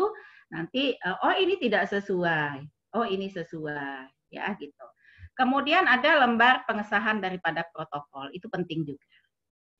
Nah, inform consent atau PSP itu harus berisi eh, uh, 35 butir. 35 butir harus muncul di dalam ada kita tinggal upload. Nah, inilah yang harus kita siapkan terlebih dahulu. Kemudian instrumen penelitian ya, kalau kita penelitiannya kuantitatif, misalnya kita gunakan kuesioner, lembar observasi dan lain sebagainya itu harus dicantumkan. Kalau kita menggunakan misalnya penelitian kualitatif, kita bisa menggunakan panduan wawancara itu harus kita cantumkan. Semua kaidah ini atau semua komponen elemen-elemen ini harus kita siapkan terlebih dahulu. Kalau saya menyarankan kepada mahasiswa lebih baik kita ketik dulu di Word dengan form yang ada, lalu kemudian nanti kita masukkan ke dalam aplikasinya. Tapi kalau teman-teman juga mau menggunakan aplikasi langsung di dalam aplikasi SIM EPK-nya juga tidak masalah, hanya saja jangan dikirim dulu ya, jangan dikirim dulu, kita simpan, simpan, simpan, simpan dulu. Baru kita nanti kalau sudah yakin itu bisa kita lakukan atau bisa dilakukan kaji etik dan komponen-komponennya sudah lengkap, lalu kita bisa kirim ke KEPK yang kita tuju. Ya, nanti ada pilihannya KEPK mana yang kita tuju. Itu jelas-jelas tergambar. Nah, itu ya Bapak Ibu. Kita lanjutkan dulu ya, nanti kita masuk ke proses tanya jawab secara konsep-konsep dulu ya, seperti itu. Oke.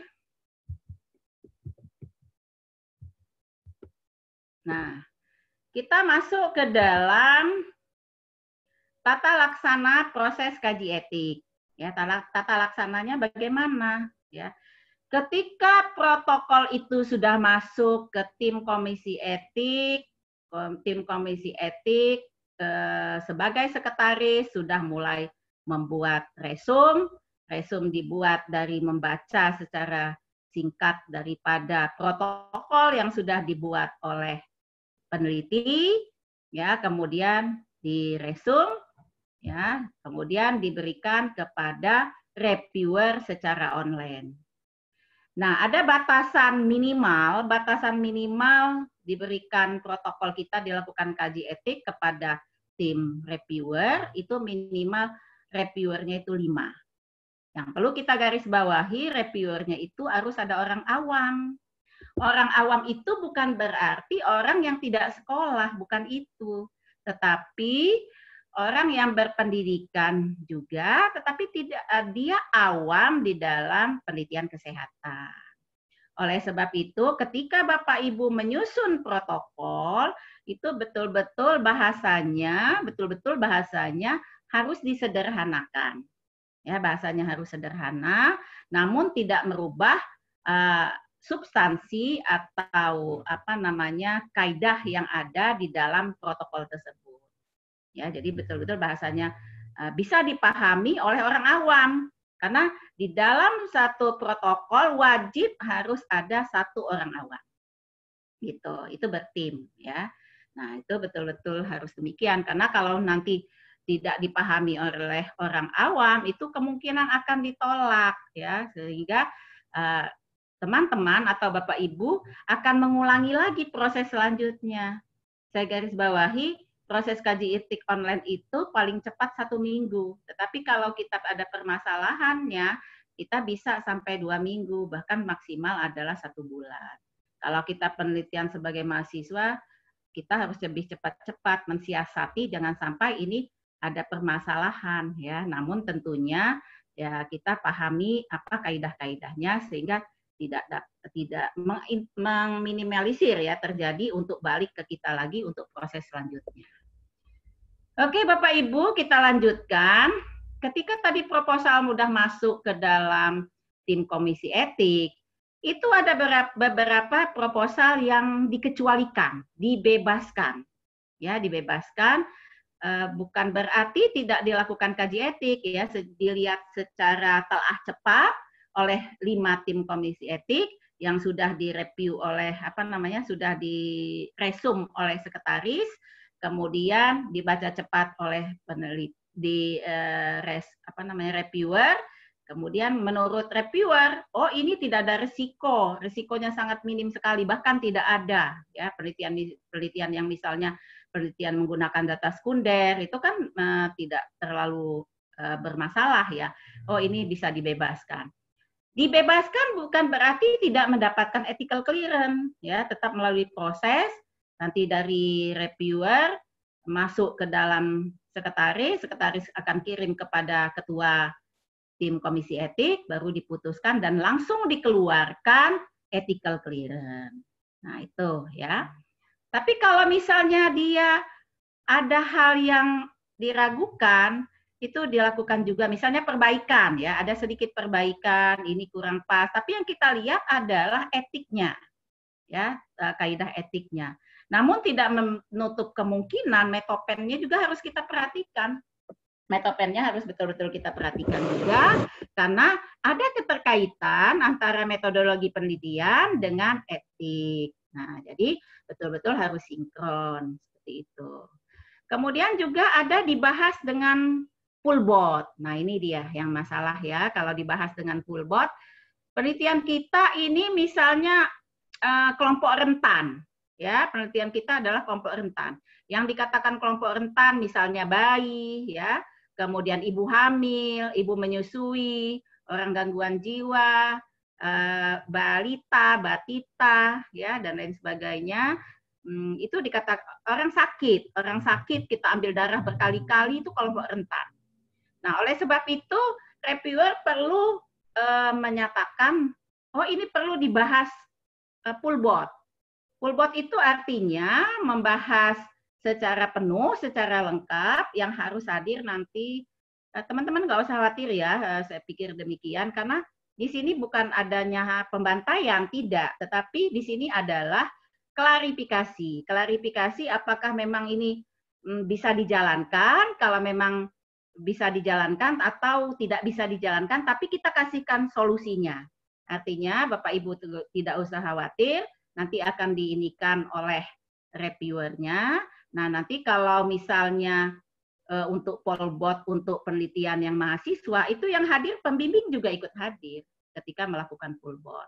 Tetapi kalau yang dosen atau peneliti-peneliti itu yang bersangkutan saja hadir, yang dihadiri oleh siapa saja, situ ketua harus hadir, kemudian sekretaris harus hadir, kemudian tim review tiga orang, dan satu lagi ditambah dengan konsultan. Misalnya tadi tentang DM, ya kita harus ambil konsultan yang betul-betul paham tentang DM, bahayanya secara substansi bagaimana kalau dilakukan eh, suatu SOP seperti itu. Nah, oleh sebab itu jangan khawatir kalau full board ini kita bisa duduk bareng. Sekarang kan sudah bisa bukan hanya datang, bukan bukan datang ke institusi pendidikan atau rumah sakit untuk melakukan full board tidak, tetapi cukup dengan online saja cukup begitu bisa. Yang kita lakukan sekarang adalah menggunakan Zoom meeting ya, Zoom-nya. Kemudian bisa juga kita misalnya video call berlima, ya berenam juga demikian bisa. Artinya adalah untuk mengklarifikasi kenapa ini bisa dilakukan, justifikasinya apa kalau bisa ada hal yang terjadi. Karena biasanya kalau full board ini diminta, kalau memang betul-betul protokol ini eh, dikhawatirkan dan itu tadi mengancam kehidupan daripada subjek daripada daripada pemanfaat daripada manfaatnya ya nah satu lagi batasannya adalah tidak bisa ditelaah TBT tidak bisa ditelaah. Ini yang saya katakan tadi untuk komponen eh, protokolnya maupun eh, apa lampirannya itu biasanya ada sel yang kosong. Sehingga si reviewer tidak bisa melakukan telaah. Kalau seperti ini sayang sekali ya teman-teman, Bapak Ibu sekalian, sayang sekali kita sudah melalui proses karena itu melalui proses ya, melalui proses. Kalau online kan kita harus masukkan ke dulu ke sekretariat, kemudian dari sekretariat ke sekretaris seperti yang saya gambarkan tadi, kemudian dibuat resume, kemudian masuk lagi ke reviewer, masuk ke pen, ketua peneliti, kemudian kembali lagi ke sekretaris dan terakhir adalah ke sekretariatan. Kalau ini proses ini dilalui, ini akan memakan waktu. Kalau reviewernya cepat mereview itu uh, bisa tiga hari. Tetapi kalau tidak direview, ya biasanya kami sih mengingatkan ya, mengingatkan untuk melakukan review sehingga itu bisa cepat. Nah, maksud saya kita akan kehilangan waktu dalam proses yang tidak bisa ditelaah. Kalau tidak bisa telaah, berarti dia akan kembali ke peneliti. Kalau kembali ke peneliti berarti akan melalui proses ulang lagi, kemudian akan memasukkan lagi. Sangat disayangkan sekali waktu yang digunakan itu sangatlah uh, bermanfaat untuk kita, apalagi misalnya untuk penelitian-penelitian yang mempunyai uh, apa dana yang terbatas, uh, bulan penelitiannya hanya beberapa bulan, sehingga nanti udah habis waktunya akan di, yang digunakan untuk kaji etik dan proses izin penelitian juga kan nggak sebegitu gampang kita dapatkan ya. Harus melalui tahapan apalagi sekarang ada apa namanya itu kalau untuk penelitian ke rumah sakit atau puskesmas itu harus melakukan suatu apa namanya tuh ke satu pintu dulu case bangpol satu pintu, kemudian nanti kalau kita penelitiannya di tingkat puskesmas, kita ambil puskesmas mana, kita harus case bangpol yang misalnya panjang, berarti kita ke case bangpol yang kota Bandar Lampung gitu ya. Ini saya mohon maaf saya kasih contoh yang di Lampung ya karena tidak paham untuk provinsi lain. Kemudian nanti setelah itu kita baru masukkan lagi ke dinas kesehatan, baru nanti akan masuk ke uh, puskesmasnya. Jadi uh, lalui tahapan itu cukup panjang, maka oleh sebab itu saya sarankan dalam proses kaji etik ini teman-teman atau peneliti harus betul-betul memperhatikan kaidah-kaidahnya sehingga tidak menimbulkan dampak yang lama ya akan menghabiskan waktu yang lama di dalam melakukan suatu penelitian. Kita lanjutkan dulu ya, teman-teman. Halo. Ngantuk? Apa bisa diteruskan? Halo. Lanjut, Bu, lanjut. Ya, Bu, lanjut. Iya, masih mendengarkan? Siap, masih, Bu. Masih, Bu. Ya. Moga-moga bisa dipahami. Nanti kita pertanyaan aja kalau misalnya ada hal yang kurang dipahami. Kemudian bebas telaahan. Itu tadi ya sudah saya katakan. Protokol penelitian yang bisa diajukan ini untuk proses telaah etik adalah penelitian yang belum dimulai pelaksanaannya. Bapak Ibu, teman-teman sekalian, jangan sekali-sekali melakukan proses kaji etik, memasukkan protokol penelitian kalau penelitiannya sudah dilakukan. Nggak bisa ini diproses ya, karena eh, ethical clearance itu harus kita dapatkan terlebih dahulu. Oh, ini sudah layak etik. Ya. Eh, setelah ujian proposal, kalau untuk mahasiswa baik S1, S2, S3, setelah ujian proposal kan itu dapat perbaikan. Kemudian setelah mendapat perbaikan harus ada persetujuan dari tim penguji. Nah, kalau sudah ada persetujuan dari tim penguji, proposal itu kita buat berubah, kita rubah, bukan berubah namanya ya, tetapi kita rubah bentuknya menjadi protokol. Nah, itulah yang kita lakukan. Setelah protokol itu selesai, baru kita lakukan kaji etik. Nah, kalau izin penelitian itu kita dapatkan kalau sudah keluar ethical clearance, like etik itu, ya. Jadi jangan sekali-sekali kita melakukan penelitian eh, belum melakukan kaji etik atau belum mendapatkan ethical clearance. Ya, itu sangat disalahkan dan tidak akan diberikan, ya.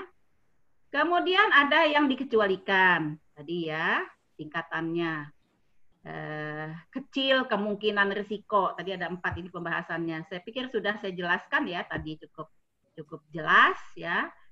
Kemudian penelitian tidak dikecualikan jika ya ini ada ada ada kuncinya, ada clue-cluenya ya, identifikasi dan pengungkapan data subjek dapat mengakibatkan konsekuensi serius bagi subjek ya. Selain itu juga yang lainnya juga bisa kita uh, lakukan.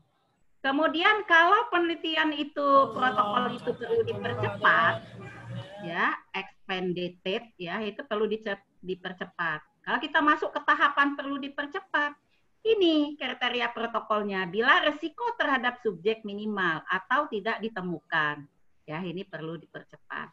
Kemudian juga misalnya ada kesalahan-kesalahan dikit saja ya, tidak terlalu tidak terlalu apa namanya itu substantif banget ya eh, bisa kita teruskan. Itu eh, kita masukkan ke dalam reviewer me- memfokuskan dalam kategori dipercepat. Ya kemudian kita masuk yang tadi eh, ini daftarnya ya kalau cuman dia koleksi gitu ya ke apa namanya rambut kuku dengan cara yang tidak melukai. Ini kan simpel-simpel lah penelitian ya. Penelitian yang lainnya juga. Intinya seperti itu tidak membuat uh, risiko besar untuk si peneliti. Ya sudah kita masukkan ke dalam kategori untuk dipercepat ya. Nah, kalau tadi dibebaskan yang sifat-sifatnya sangat tidak ada faktor risikonya tidak ada. Ini yang full tadi saya bilang ya kalau dia masuk ke kelompok rentan kelompok rentan kalau teman-teman penelitiannya yang tentang bayi kemudian tentang ada lagi nih penelitian yang dia uh, terhadap ibu yang mau melahirkan, kemudian dia posisi jongkok, disuruh jalan, ya. Nah ini apa membahayakannya?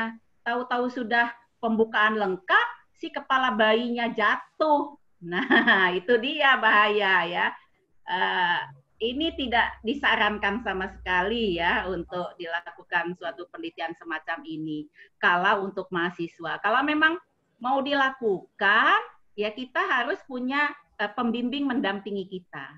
Lalu saya katakan juga ketika penelitian itu nanti pembimbing ataupun pembimbing ya promotor kita betul-betul mendampingi mahasiswa. Kalau penelitian-penelitian dosen ya sudah tahulah kaidah-kaidahnya. Ya. Nah, ini yang perlu kita ini kan sehingga akan pasti akan terjadi pullboard. Apalagi penelitiannya kepada orang yang gangguan jiwa ya tidak memperhatikan konsep-konsep etiknya itu pasti pullboard ya. Tapi kembali lagi saya katakan jangan khawatir ya, jangan sampai kalian aduh kok eh, eh, menakutkan sekali tidak ya. Komisi etik tidak melakukan eh, apa namanya suatu yang membuat ditakuti, tetapi bagaimana penelitian ini bisa diterima secara etis. Kembali lagi terkait dengan tiga prinsip tadi dan tujuh prinsip yang sudah saya jelaskan di atas ya. Nah, tidak bisa telaah. Sudah saya bahas juga ya, protokol tidak lengkap, tidak sesuai dengan kaidah-kaidahnya. Nah, tentunya itu yang bisa saya sampaikan terkait dengan konsep. Kembali kita masuk bagaimana kita mengaplikasikan dengan sistem apa namanya informasi manajemen etik penelitian kesehatan ya. Kita lanjut dulu ya, host. Halo. Host. Ya, halo.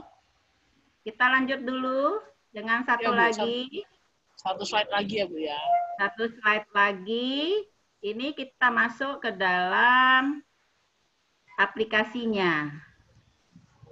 Ya.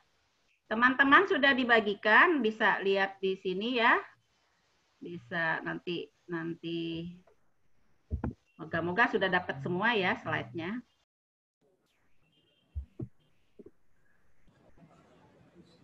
Oke, masih ada waktu ya, kita teruskan dulu. Ya, masih. Iya, ini belum full screen ya.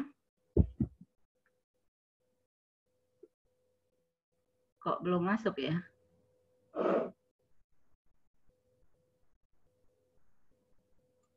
Aduh. Maaf, maaf.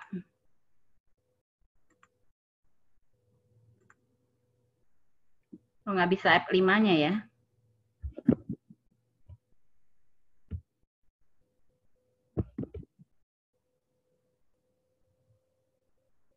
Kok nggak bisa dibesarkan ini? Mungkin bisa ini, Bu. Apa namanya? Langsung klik yang di pojok bawah itu tuh. Pojok bawah. Eh, bukan, sebelahnya. Di sebelah tanda minus. Di sebelahnya, sebelah kanan lagi. Oh iya. Nah, Oke, mangkok ya. Ada masih masih ini ya, masih semangat ya teman-teman semua. coba. Oke. Ya, kita lanjut saja ya. Kita lanjut saja ke SIM EPK. Nah, ini yang Ibu katakan tadi, ini adalah sistem informasi manajemen etik penelitian kesehatan, ya. Ini adalah untuk protokol atau untuk penelitian yang melibatkan manusia. Ya, kalau penelitian yang tidak melibatkan manusia, misalnya hewan coba, itu nanti eh, manual saja ya melalui email. Tuh. Tapi kalau yang melibatkan manusia, tentunya harus melalui SIM EPK. Tetapi ada juga beberapa institusi yang seperti Ibu katakan tadi, ada beberapa institusi yang belum online. Kalau dia belum online ya nggak apa-apa, tapi kuncinya adalah sama ya, kita sama mempunyai protokol yang harus kita kaji itu POM-nya sama. Persyaratannya pun sama, hanya saja modelnya dia tidak online. Tetapi biasanya yang tidak online itu menjadi memakan waktu lama karena apa? Kita harus kirim dulu kepada reviewer, kemudian reviewer tadi ada lima, minimal ya, minimal lima. Kalau saya sih tidak membatasi reviewer ya, jebret langsung nanti kalau dia sudah lima kita kunci, kalau misalnya masih bisa kita teruskan dalam hari yang itu dan walaupun dia sudah lima nambah lagi dengan hari batasan hari itu nggak masalah gitu. Semakin banyak di review semakin baik. Demikian ya. Jadi kita masuk aja ke sistem informasi manajemen etik penelitian kesehatan. Nah, ini tentunya dia connecting ataupun dia di bawah naungan dari CAPCAN. Komisi Etik Penelitian dan Pengembangan Kesehatan Nasional. Ya. Itu seluruh peneliti, uh, seluruh uh, komisi etik itu di bawah ini dan diawasi. Ya, jadi semua protokol uh, teman-teman yang masuk untuk melakukan kaji etik ini diawasi oleh Kepke. Nah, apa sih sebenarnya SIM EPK? Ini saya katakan tadi, sistem informasi manajemen berbasis online. Ya, dilakukan untuk proses pengajuan telaah etik bagi peneliti kesehatan, ya. Kemudian dilakukan secara online. Semua aktivitasnya ya dipantau oleh Kepke. Ya, gitu. Ini enak banget pakai ini, cepat sebenarnya ya daripada kita manual. Kalau kita sudah menggunakan ini asik banget gitu. Nggak usah khawatir teman-teman ya, begitu. Nah, bagaimana cara mendaftarkan ke SIM EPK? Teman-teman atau Bapak Ibu hanya perlu diminta KTP, nomor NIK ya, nomor induk kependudukan. Itu saja yang diminta. Siapkan karena satu KTP untuk satu kali pendaftaran dan satu kali pendaftaran ini bisa kita lakukan untuk beberapa kali melakukan kaji etik. Sumur hidup artinya, bukan beberapa kali ya, lebih tegas lagi adalah sumur hidup. Kalau kita akan, kan kita tidak terbatas dengan mahasiswa aja ya melakukan penelitian. Bisa jadi kita sudah jadi pegawai atau kita juga memang peneliti handal ya memang hobinya meneliti berkali-kali kita perlu melakukan kaji etik. Jadi daftarnya cuma sekali. Di mana kita daftarnya? Kita harus melakukan klik atau ngeling di sini ya otomatis. Saya pakai manual saja karena kalau dia tidak terisi nanti agak sulit. Ya, ini saya pakai yang manual aja tetapi komponennya semua sama dengan apa yang saya gambarkan di sini ya. Jadi kita masuk ke HPP eh, TTP SIM EPK ya dot uh, CapCan dan lain sebagainya, silahkan diklik ini. Nanti teman-teman bisa, ini kan masih pada penelitian ya, sebelum melakukan penelitian, sudah melakukan ujian proposal, segera membuat uh, protokol dan PSP-nya dan persyaratan-persyaratan lainnya untuk dimasukkan atau diupload ke dalam SIM EPK kalau yang mau online. Nah, nanti akan seperti ini timbul, timbul aplikasi tampilan awalnya seperti ini. Ya, kita klik pendaftaran. Kita mau pendaftaran apa? Kalau nah seperti uh, Umitra itu komisi etiknya kan masih uh, manual, belum online, nanti silahkan melakukan pendaftaran KEPK. Jadi barulah terdaftar institusinya ke KEPKN tadi, gitu. Kalau sudah mendaftarkan diri uh, ke KEPK-nya, komisi etiknya. Nah, yang punya kita sebagai peneliti, kita lakukan pendaftaran peneliti sebagai peneliti di sini, ya. Kita lakukan pendaftaran peneliti, lalu nanti setelah kita melakukan pendaftaran peneliti di bagian atas nanti akan keluar seperti ini gambarnya.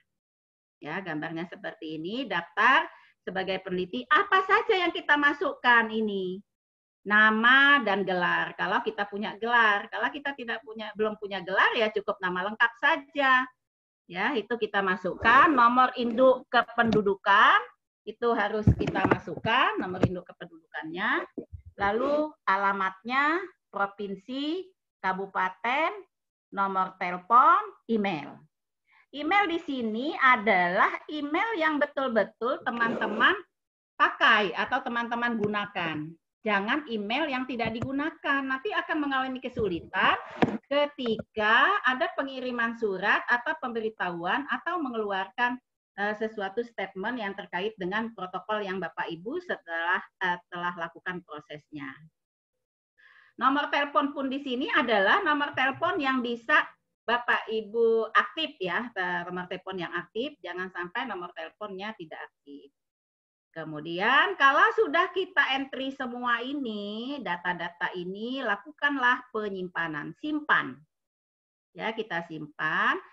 Nah, ini sudah dijabarkan tadi. Setelah disimpan, nanti Bapak Ibu akan mendapatkan username dan password. Nah, saya selalu mengatakan kepada teman-teman ya, kepada Bapak Ibu, ini dicetak sebaiknya disimpan didokumentasikan ya Kemudian kalau enggak, ya cukup disimpan di dalam apa ya, kita punya file sehingga ketika suatu sewaktu-waktu kita buka ada ya. Karena ini diingat, tolong diingat pendaftarannya hanya sekali untuk seumur hidup, untuk satu KTP. Kecuali kalau kita menggunakan KTP lain untuk pendaftaran. Jadi kalau kita mau sebagai peneliti Hagar sinkron, ya cukup menggunakan satu KTP saja. Berkali-kali kita melakukan kaji etik dengan menggunakan username dan password. Ya, ini nanti akan keluar nomor pendaftaran, ya, pendaftaran pengusul akan muncul nama, nik, alamat, kabupaten dan seterusnya. Ini akan muncul. Ya, lalu ini diarsipkan. Kemudian setelah itu selesai, teman-teman Bapak Ibu harus melakukan login. Ya, login untuk masuk. Login untuk masuk Eh, ke, sebagai peneliti ya sebagai peneliti kita masuk kalau misalnya dia sudah aktif ini terlihat di sini. Terlihat di sini adalah apa namanya halamannya sudah terlihat adanya dashboard. Kalau ada dashboard ini berarti sudah ada empat menu ini. Betul-betul ini adalah uh, SIM EPK kita sudah aktif. Kalau SIM EPK kita belum aktif berarti tidak akan terlihat gambaran dashboard ini. Ya seperti itu.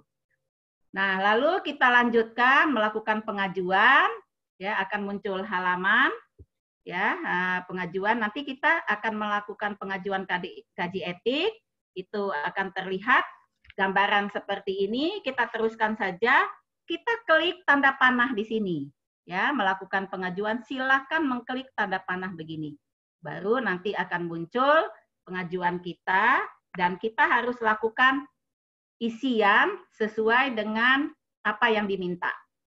Ya, nama, judul protokol, jenis eh, penelitiannya, ya di sini ada apakah observatif, apakah eh, eksperimen, apakah yang lainnya, asal pengusul ya juga harus ada, jenis lembaga. Nah, otomatis nanti kalau kita nama SIM EPK misalnya kita pilih adalah Umitra kalau dia sudah terdaftar ya.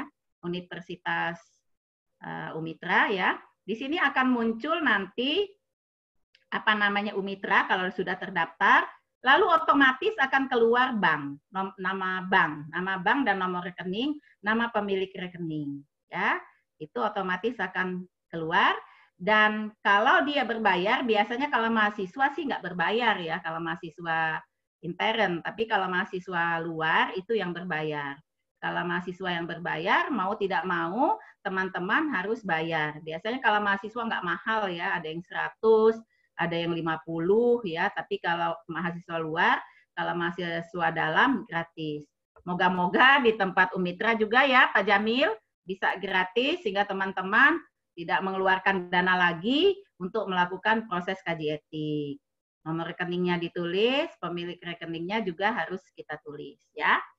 Kemudian kita masuk setelah terisi semua, ya setelah terisi semua, ini tadi sudah saya jelaskan. Lanjut kita ke dalam eh, terakhir adalah eh, stratanya. Apakah S1, S2, S3, ya itu juga harus kita masukkan. Selanjutnya kita teruskan juga, kita isi terus ini ya sampai eh, apa namanya komponen-komponen yang ditanyakan terisi dengan sempurna, dengan benar bukan kerjasama, apakah penelitiannya kerjasama, kita harus klik di sini ya. Eh, kemudian apakah kita dengan peneliti asing juga itu juga harus kita masukkan. Kemudian harus ada nama, kalau dia terkait dengan institusi asing kita harus masukkan. Tetapi kalau tidak ada tidak perlu kita masukkan, kosongkan saja ya. Atau kita kasih strip saja karena menghindari nanti akan terjadi sesuatu ya kita berikan strip saja atau tidak relevan ya seperti itu. Kalau sudah terisi, kita harus simpan. Uh, intinya adalah protokol yang sudah kita isi selalu kita simpan, simpan, simpan dan simpan, ya. Simpan terus nomor surat, ya kita nanti kita upload di sini ya nomor surat, uh, file surat pengantar, bukti bayar, ini juga harus diupload kalau kita bayar. Kalau tidak berbayar, kalau di tempat kami itu cukup mengupload menyeken apa namanya eh, kartu mahasiswa kartu mahasiswa. Kalau dosen adalah kartu identitas diri daripada dosen itu sendiri. Cukup itu saja. Tetapi kalau dia berbayar, eh, yang orang luar, dia mengupload bukti pembayarannya, ya, lalu disimpan.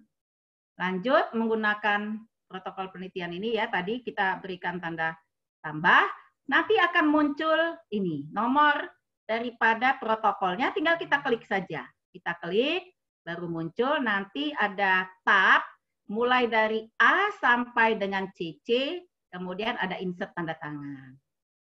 Ya, masih bisa diikuti ya? Halo. Hai. Ya. Sudah mulai ngantuk ya? Sudah mau anu ya? Kita teruskan lah masih ya. Nah, ini ada tab-tabnya. Tab A itu adalah isinya lokasi penelitian, ya. Apakah penelitiannya multi center teman-teman bapak ibu tinggal pilih aja klik-klik aja di sini ya. Kemudian ada yang mengisi. Kemudian kita masuk ke tab B-nya. Tab B-nya itu adalah eh, kolom B-nya identit eh, apa namanya identifikasi. Bisa peneliti utama CP-nya nanti kita lampirkan. Tapi pelampirannya bukan di sini dia di form yang CC kalau tidak salah seperti itu ya Kemudian juga biodata anggotanya eh, harus kita lampirkan. Kalau ada lembaga sponsor juga harus kita masukkan. Nah ini untuk yang eh, sel untuk yang B. Lanjut kita ke sel yang C. Ke sel yang C itu itu tadi ya ada. Nah ini ringkasan daripada protokol. Ini yang membuat siapa ya kita sebagai peneliti. Bagaimana seorang peneliti bisa meringkas protokol tersebut menjadi 200 kata, tetapi beda dengan ringkasan di proposal penelitian, karena ini protokol.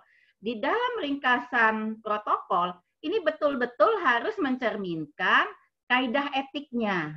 Ya, kaidah etiknya itu harus betul-betul dicerminkan. Makanya saya tadi bilang lebih baik kita mengerjakannya di Word dulu, ya kita kerjakan di Word dulu, baru kita simpan, kita perbaiki terus menerus. Kalau kita sudah yakin, baru kita tinggal copy paste ke aplikasi ini, sehingga menghindari untuk terjadinya kesalahan. Namun sebenarnya nggak apa-apa juga kalau teman-teman mau langsung mengetik di dalam aplikasi ini, ya. Cuman hati-hati, perhatikan jangan sampai nanti tidak sesuai dengan kaidah-kaidah sebagai eh, apa namanya suatu protokol penelitian. Nah, kita lanjutkan mengapa penelitian ini harus dilakukan, itu yang D-nya. Kita jelaskan, uraikan. Semua uraian di sini sifatnya deskriptif ya, jelaskan betul-betul bisa dipahami dan sifatnya adalah orang awam paham tentang apa yang sudah kita lakukan ya atau apa yang sudah kita rumuskan atau apa yang sudah kita tulis di dalam protokol ini ya. Kemudian kita teruskan lagi, terus saja kita isi ya, ini ringkasan kajian pustaka. Nah, yang ringkasan kajian pustaka, teman-teman semua hati-hati ya, di sini banyak yang salah. Mahasiswa kami kadang-kadang siapa saja ya mahasiswa atau dosen pun masih mengalami kesalahan. Dia mengcopy eh, daftar pustaka. Padahal yang diminta adalah ringkasan hasil-hasil studi sebelumnya sesuai dengan topik penelitian. Itu juga hati-hati kalau topik penelitiannya eh, ringkasannya itu tidak sesuai. Artinya di sini adalah penelitian terdahulu ya ringki- ringkasan dari penelitian terdahulu itu juga harus ada persyaratannya nggak boleh lebih dari lima tahun ringkasan penelitian terdahulu atau eh, penelitian terdahulunya yang dilakukan tidak boleh lebih dari lima tahun. Kalau sudah lima tahun, tidak boleh kita jadikan dasar untuk menjadikan dia sebagai disitasi di dalam penelitian kita, ya atau protokol kita ini. Jadi ambillah penelitian-penelitian yang lima tahun terakhir betul-betul ada kaitannya dengan topik yang kita teliti dan betul-betul uh, variabel yang diteliti adalah ada kaitannya. Ya hanya kita saja yang novelty-nya saja yang beda dengan punya adanya kebaharuannya yang betul-betul memang ada. Ini harus kita masukkan. Jadi di sini ringkas, diringkaskan, bukan daftar pustaka, ya. Kemudian gambaran tempat penelitian juga harus kita ini kan. Nah, Bapak Ibu sekalian, teman-teman, ketika kita menulis, ini ada persyaratan mendeskripsikan. Ada maksimal ketikan atau ada maksimal jumlah kata ya. Maksimal jumlah kata kalau misalnya sudah penuh katanya itu eh, teman-teman atau Bapak Ibu di dalam file yang disiapkan eh, tidak perlu terlalu panjang tapi artinya ada kaitannya dengan etiknya. Seperti contohnya di sini adalah gambaran tempat penelitian. Kalau misalnya nggak ada kaitannya dengan eh, penelitian yang kita lakukan, yang hanya bercerita yang tidak ada sinkronisasinya, saya pikir tidak perlu kita masukkan. Hanya saja yang betul-betul akan berdampak terhadap etiknya nanti. Nah, untuk tujuan penelitian hipotesis ini cukup teman-teman atau Bapak Ibu mengcopy saja dari Metopen, protokol eh proposal dari Metopen, metodologi penelitiannya. Tinggal copy di sini ya. Itu karena e, walaupun ini etik tetapi masih ada unsur metodologi penelitiannya, bukan saja murni terkait dengan e, apa namanya etiknya karena dia harus berjalan seiring antara metopen dengan etiknya. Kita teruskan lagi eh, mendeskripsikannya adalah eh, penjelasan intensitas metode juga harus. Nah, kembali lagi saya tegaskan bahwa kalau misalnya tidak ada kaitannya pertanyaan ini dengan protokol atau penelitian yang Bapak Ibu lakukan, cukup dikatakan atau diketik dengan pernyataan tidak relevan ya seperti itu. Kita lanjut ke J ya. Sampel ini saya pikir tidak bermasalah ya karena sudah ada di Metopen dan sudah lulus. Oleh sebab itu memang ketika melakukan kaji etik memang harus lulus dulu eh, apa namanya proposal penelitian, baik mendapatkan dana maupun tidak. Yang K ini adalah aturan ya eh, kapan subjek itu akan dihentikan. Nah, ini yang ada kaitannya dengan etik. Misalnya di lapangan eh, kita temukan eh, pembimbing menemukan mahasiswa mengalami ancaman ya yang berisiko. Nah, kalau misalnya ini terjadi terhadap responden atau terhadap apa namanya tuh informan, ini bisa kita kita uh, hentikan. Oleh sebab itu, teman-teman ketika mendeskripsikan di sini, informasikan aja kemungkinan-kemungkinan apa yang bisa terjadi, kemudian eh, apa kaidah-kaidahnya atau apa bagaimana cara mensiasatinya sehingga ini tidak eh, dilakukan atau terjadi keparahan terkait dengan protokol yang mau kita teliti, ya. Metode pencatatan, kemudian kita masuk ke yang M itu adalah rencana kerja si peneliti dan lain sebagainya. Kita teruskan lagi kemungkinan apa namanya berkelanjutan akses ya bila hasil intervensi menghasilkan manfaat yang signifikan. Ini juga harus dijelaskan masing-masing terkait dengan protokol yang kita susun. Banyak sekali ya, ada 48 uh, poin yang perlu kita isi. Ini impom konsennya. Kalau impom konsen, teman-teman selain menginformasikan juga harus mengupload yang impom konsennya ada pomnya nanti saya tidak bahas di sini nanti akan saya berikan saja. Itu 36 butir ya 36 butir impom konsen yang harus diupload yang nanti coba diisi di Word. Kalau sudah nanti silahkan diupload masuk kembali ke dalam aplikasinya ya. Nah, ini kalau kita menggunakan ibu hamil, ini ada pernyataan yang diisi ya. Wali yang berhak Nah, ini impom konsen untuk terkait dengan wali yang berhak. Kalau dia bayi, balita, eh, kemudian orang gila, ya dan lain sebagainya yang betul-betul memang tidak bisa untuk menandatangani impom konsen, ini bisa kita libatkan walinya. Misalnya juga anak sekolah itu bisa juga kita gunakan gurunya, ya, gitu. Bujukan. Nah, ini ya. Sebenarnya bujukan itu diperbolehkan di dalam Eh, suatu penelitian. Hanya saja bujukan yang di sini bukan bujukan semata-mata untuk kita mendapatkan data. Artinya eh, kita punya siasat yang menunjukkan responden. Tetapi kalau bujukan terkait misalnya kita punya kompensasi, kita tahu kan kalau kita melakukan penelitian itu tidak waktu yang sedikit yang kita gunakan ya, waktunya cukup lama kita gunakan kepada responden kita. Kita harus bisa mengantisipasi. Misalnya kita habis waktu 2 jam atau 30 menit atau 15 menit. Kalau misalnya dia pekerjaannya adalah dagang atau pekerjaannya adalah petani, kita harus bisa mengkompensasinya dengan itu. Jadi tolong nanti kalau ketika melakukan penelitian jangan sampai kompensasi-kompensasi yang Ibu katakan tadi bisa juga berupa uang, bisa juga berupa bingkisan, itu tidak diberikan karena walaupun dia sudah uh, menandatangani impom konsen ya, sudah menandatangani impom konsen tetapi ada waktu yang digunakan. Itulah yang menyebabkan secara etisnya itu betul-betul kita hargai subjek kita itu terkait dengan penelitian yang akan kita lakukan ya. Jadi intinya di sini adalah uh, ini bujukan yang ditulis di sini adalah bukan yang negatif, tetapi adalah berhal yang positif terhadap untuk mendapatkan data dan tentunya bukan semata-mata uh, karena kita akan melakukan satu penelitian. Ya. Lalu proses uh, rekrutmen subjek. Ya, ini juga harus kita jelaskan secara rinci, betul-betul kita pahami apa yang harus masuk ke dalam poin tersebut, ya. Uh, kemudian an, apa namanya rencana. Kalau ini saya tidak perlu jelaskan ya. Analisis data ini kan metopen. Jadi teman-teman hanya mengcopy paste saja dan lebih jelas lagi misalnya analisisnya analisis data mulai dari univariat, bivariat dan multivariat kita harus jelaskan ujinya menggunakan uji apa, itu juga teman-teman harus cantumkan di dalam uh, deskripsi rencana analisisnya. Sehingga jelas betul-betul ini bisa dipertanggungjawabkan secara metopen. Ya. Bu Prina? Kemudian, ya. Oh ya, mengingatkan maksimal 10 menit lagi Bu waktunya Bu ya. Baik, iya. Oke, okay. ya. moga-moga cepat uh, bisa selesai ya. Oke, kita lanjut ya.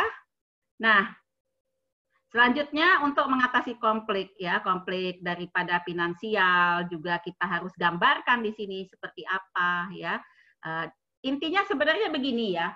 Kalau protokol yang Bapak Ibu buat itu betul-betul sudah artinya meminimalkan untuk uh, apa namanya terjadi suatu masalah terkait dengan etik, saya pikir tidak ada masalah ya. Jadi artinya berikanlah suatu justifikasi sehingga ini bisa dimanfaatkan dengan baik atau bisa berproses dengan baik ya.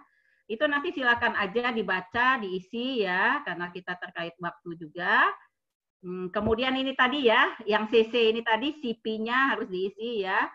Eh, apa namanya? Kemudian juga daftar lembaga sponsor kalau ada kita kita isi. Yang terakhir adalah insert tanda tangan. Bapak Ibu, teman-teman sekalian melakukan tanda tangan, lalu di-scan, kemudian di-upload ya, dimasukkan tanda tangannya ke dalam uh, kolom insert tanda tangan ini. Nah, lalu setelah semua diisi, maka kita klik simpan. Ya, kita klik simpan, yakinkan kita klik simpan. Sebenarnya kalau simpan masih kita bisa rubah ya, kita masih masih ada proses edit masih boleh asal jangan dikirim. Kalau dikirim itu yang sudah tidak bisa kita edit lagi, ya. Nah, selain protokol itu tadi yang 48 butir, Bapak Ibu teman-teman ini nanti harus mengisi yang namanya checklist untuk tujuh standar. Sebenarnya checklist ini, checklist ini hanya uh, me, meng, meng, apa namanya mensinkronkan antara protokol yang dibuat dengan tujuh standar ini. Ya, ini ada standarnya, nilai sosial, ya. Yang pertama nilai sosial, bukti butir butir butirnya bisa Bapak Ibu lihat. Kemudian juga ada nilai ilmiah, ya. Ini sebenarnya apa yang sudah kita buat tadi di protokol, tinggal kita katakan saja di dalam checklist ini. Kalau misalnya nilai ilmiah klinisnya betul-betul ada, kita tinggal contek iya. Tapi kalau tidak ada, kita berikan tidak. Tapi saya pikir kalau yang namanya penelitian tidak mungkin ada tidak ada nilai ilmiah ya, pasti ada nilai ilmiah ya begitu. Kemudian juga eh, nilai sosial, nilai klinis juga nggak mungkin tidak ada ya. Kemudian ada pemerataan beban dan manfaat. Nah, jangan sampai nanti penelitian ini tidak ada pemerataan beban dan manfaat. Itu juga harus kita masukkan kan kita sudah menyusun protokol tadi. Ketika kita membuat checklist ini, kita sudah ingat, oh ini pemerataan beban dan manfaatnya sudah saya berikan untuk responden ini, eh, bebannya seperti ini dan pemanfaatannya juga seperti ini. Betul-betul kita berikan justifikasinya sehingga kita contenglah yang iya. Potensi manfaat dan risiko juga sudah kita inikan. Tadi kan kita membahas bujukan ya ada enggak ya. Kemudian juga yang lainnya terkait dengan uh, apa namanya uh, checklist ini menjadi uh, tujuh standar etik tersebut ya. Lalu semua yang sudah kita isi tadi, checklist-checklist itu tadi, kita harus punya form justifikasi. Bukan harus punya, di dalam di dalam aplikasi itu ada form justifikasi. Form justifikasi inilah yang teman-teman harus isi. Misalnya contoh, mengatakan iya atau mengatakan tidak. Justifikasinya kenapa memang mengatakan tidak? Ya, harus ini, harus tertulis. Mengatakan iya, itu juga form justifikasinya atau justifikasinya juga harus kita buat untuk masing-masing standar ya. Eh, tidak perlu terlalu banyak-banyak, namun tentunya yang kaidah terkait dengan etiknya itu sendiri yang perlu kita pertegas. Bisa kita lanjutkan ya, masih bisa ya. Oke. Uh, kemudian standar 4, standar 5, standar 6, dan standar 7. Ya. Nah, di dalam standar 7 itu standar inform konsen. ya. Apakah iya ada inform konsennya, terdapat lembar inform konsen, apakah iya, itu kita tinggal klik iya atau tidak saja. Setelah selesai semua, kita lakukan klik simpan. Ya, klik simpan Nah, kita baca berkali-kali lagi apakah semua uh, POM protokol penelitian ini, IMPOM konsen, protokol penelitian yang tadi 48 butir, kemudian IMPOM konsen 36 butir, kemudian checklist 7 standar itu sekian butir. Bapak Ibu sekalian, perlu saya garis bawahi atau saya pertegas, ketika melakukan kaji etik, ini karena sifatnya online seluruh Indonesia, Bapak Ibu nggak usah khawatir, kok ini lama ya nyimpannya, kok ini lama ya terkirimnya.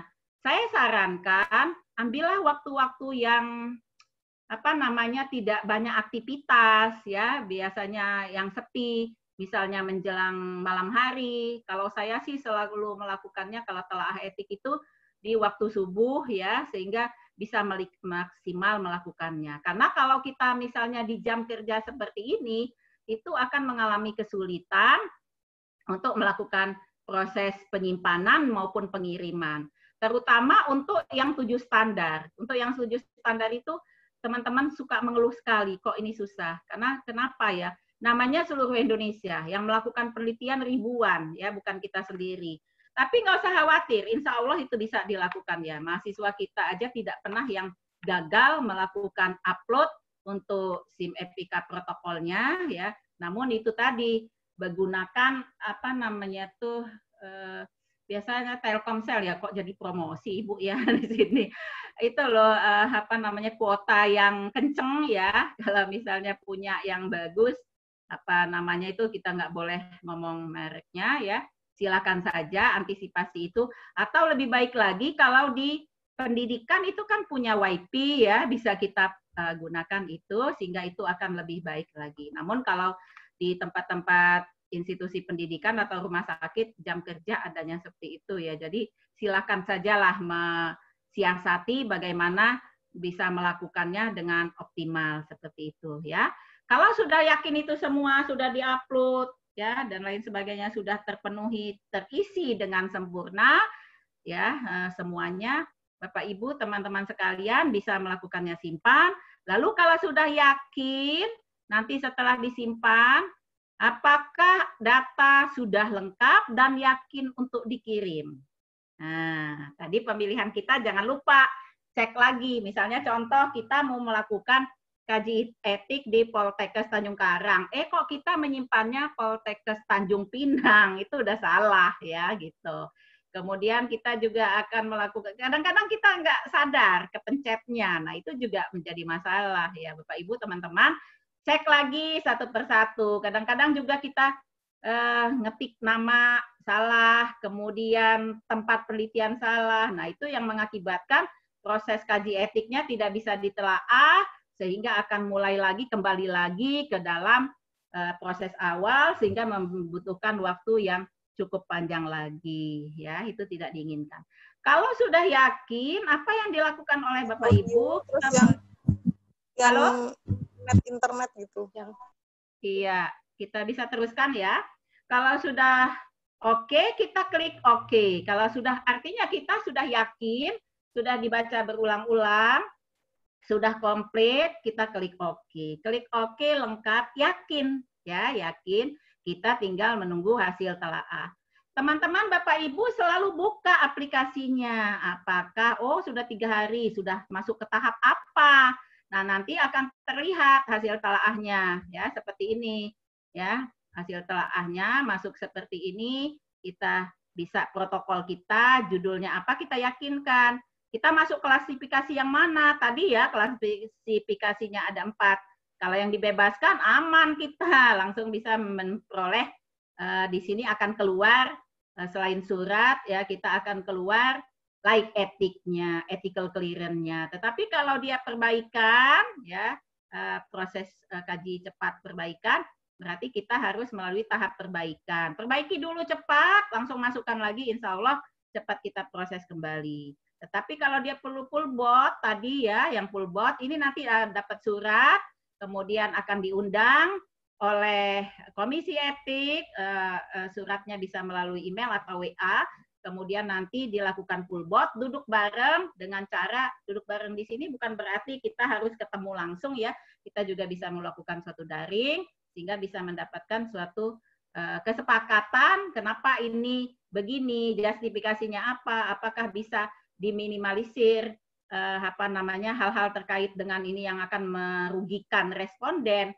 kerugiannya lebih besar daripada manfaat, ini juga harus diklarifikasikan. Oleh sebab itu, kembali saya tegaskan bahwa eh, konsultan, konsultan terkait dengan apa namanya eh, topik penelitian kita itu perlu dihadirkan. Gunanya adalah untuk membahas tuntas terkait dengan penelitian yang kita lakukan full bot ini. Nah itu seperti ini ya. Eh, kita download download semua surat perbaikan, surat pengantar apa kalau dia sudah ada keluar ethical clearance-nya. Kalau tadi tidak masalah ya langsung keluar kita tinggal download. Kemudian ini yang kita serahkan kepada institusi pendidikan ataupun rumah sakit untuk dibuatkan surat izin penelitian ya. Itulah prosesnya melakukan kaji etik secara online. Nah kalau yang uh, offline sih gampang aja ya, tinggal kirim yang Ibu katakan tadi persyaratannya tadi protokol 48, inform konsen 36, surat pengantar, bukti bayar dan lain sebagainya kirim kalau memang dia kirim ke email tinggal upload-upload nanti tinggal mendapatkan jawaban. Saya yakin teman-teman semua bisa melakukan ini ya kalau memang tidak jelas kita bisa WA ke Ibu, teman-teman bisa WA ke Ibu kembali untuk melakukan kaji etik sehingga penelitian yang teman-teman lakukan betul-betul sudah memenuhi kaidah etik ya seperti itu. Baik, eh, cukup eh, sekian ya. Silahkan nanti kalau ada hal yang kurang eh, dipahami dan perlu kita diskusikan, silahkan. Ya tentunya waktu yang dua jam kita habiskan ini tidak bisa sempurna untuk Bapak Ibu dapatkan dengan baik, tetapi namun eh, paling tidak mendapat gambaran lah ya bagaimana melakukan proses kaji etik ya, kemudian juga eh, konsep eh, secara apa namanya mm, penelitian kesehatan. Karena tolong dipahami juga untuk hal ini kita juga melakukan suatu pelatihan yang cukup lama ya, bahkan sampai berkali-kali itu juga saya melakukan. Ada satu lagi yang saya belum uraikan di situ adalah pelatihan untuk SIM EPK. Karena semuanya ini ada pelatihan. Tetapi dengan waktu yang singkat ini, semoga bisa memberikan gambaran untuk teman-teman semua, ya. Tidak perlu pelatihan, kita bisa lakukan kaji etik yang sesuai dengan hmm, protokol yang etis. Baik, terima kasih. Assalamualaikum warahmatullahi wabarakatuh. Waalaikumsalam. Ya, Waalaikumsalam warahmatullahi wabarakatuh. Terima kasih Ibu Aprina untuk materi yang disampaikan. Selanjutnya, sebentar. Cek satu. Ya, selanjutnya kepada Bapak Ibu dan seluruh peserta yang menyimak materi yang disampaikan oleh Ibu Aprina, apabila ada yang ingin ditanyakan terkait materi yang beliau sampaikan, kami silakan untuk menggunakan fasilitas chat ataupun jika ada yang ingin bertanya secara langsung, kami silakan untuk uh, mengaktifkan audionya. Adakah yang ingin bertanya, Bapak Ibu?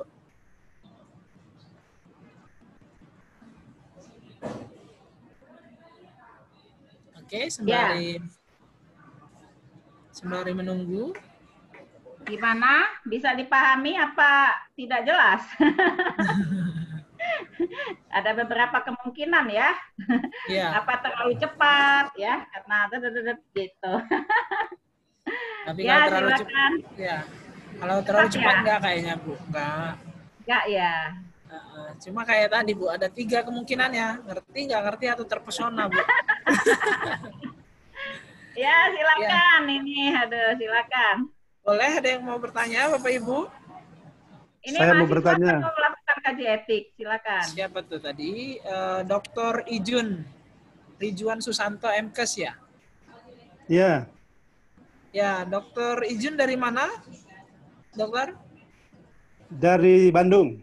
Oh, dari Bandung. Ah. Silakan, Ya. Dr. Ijun.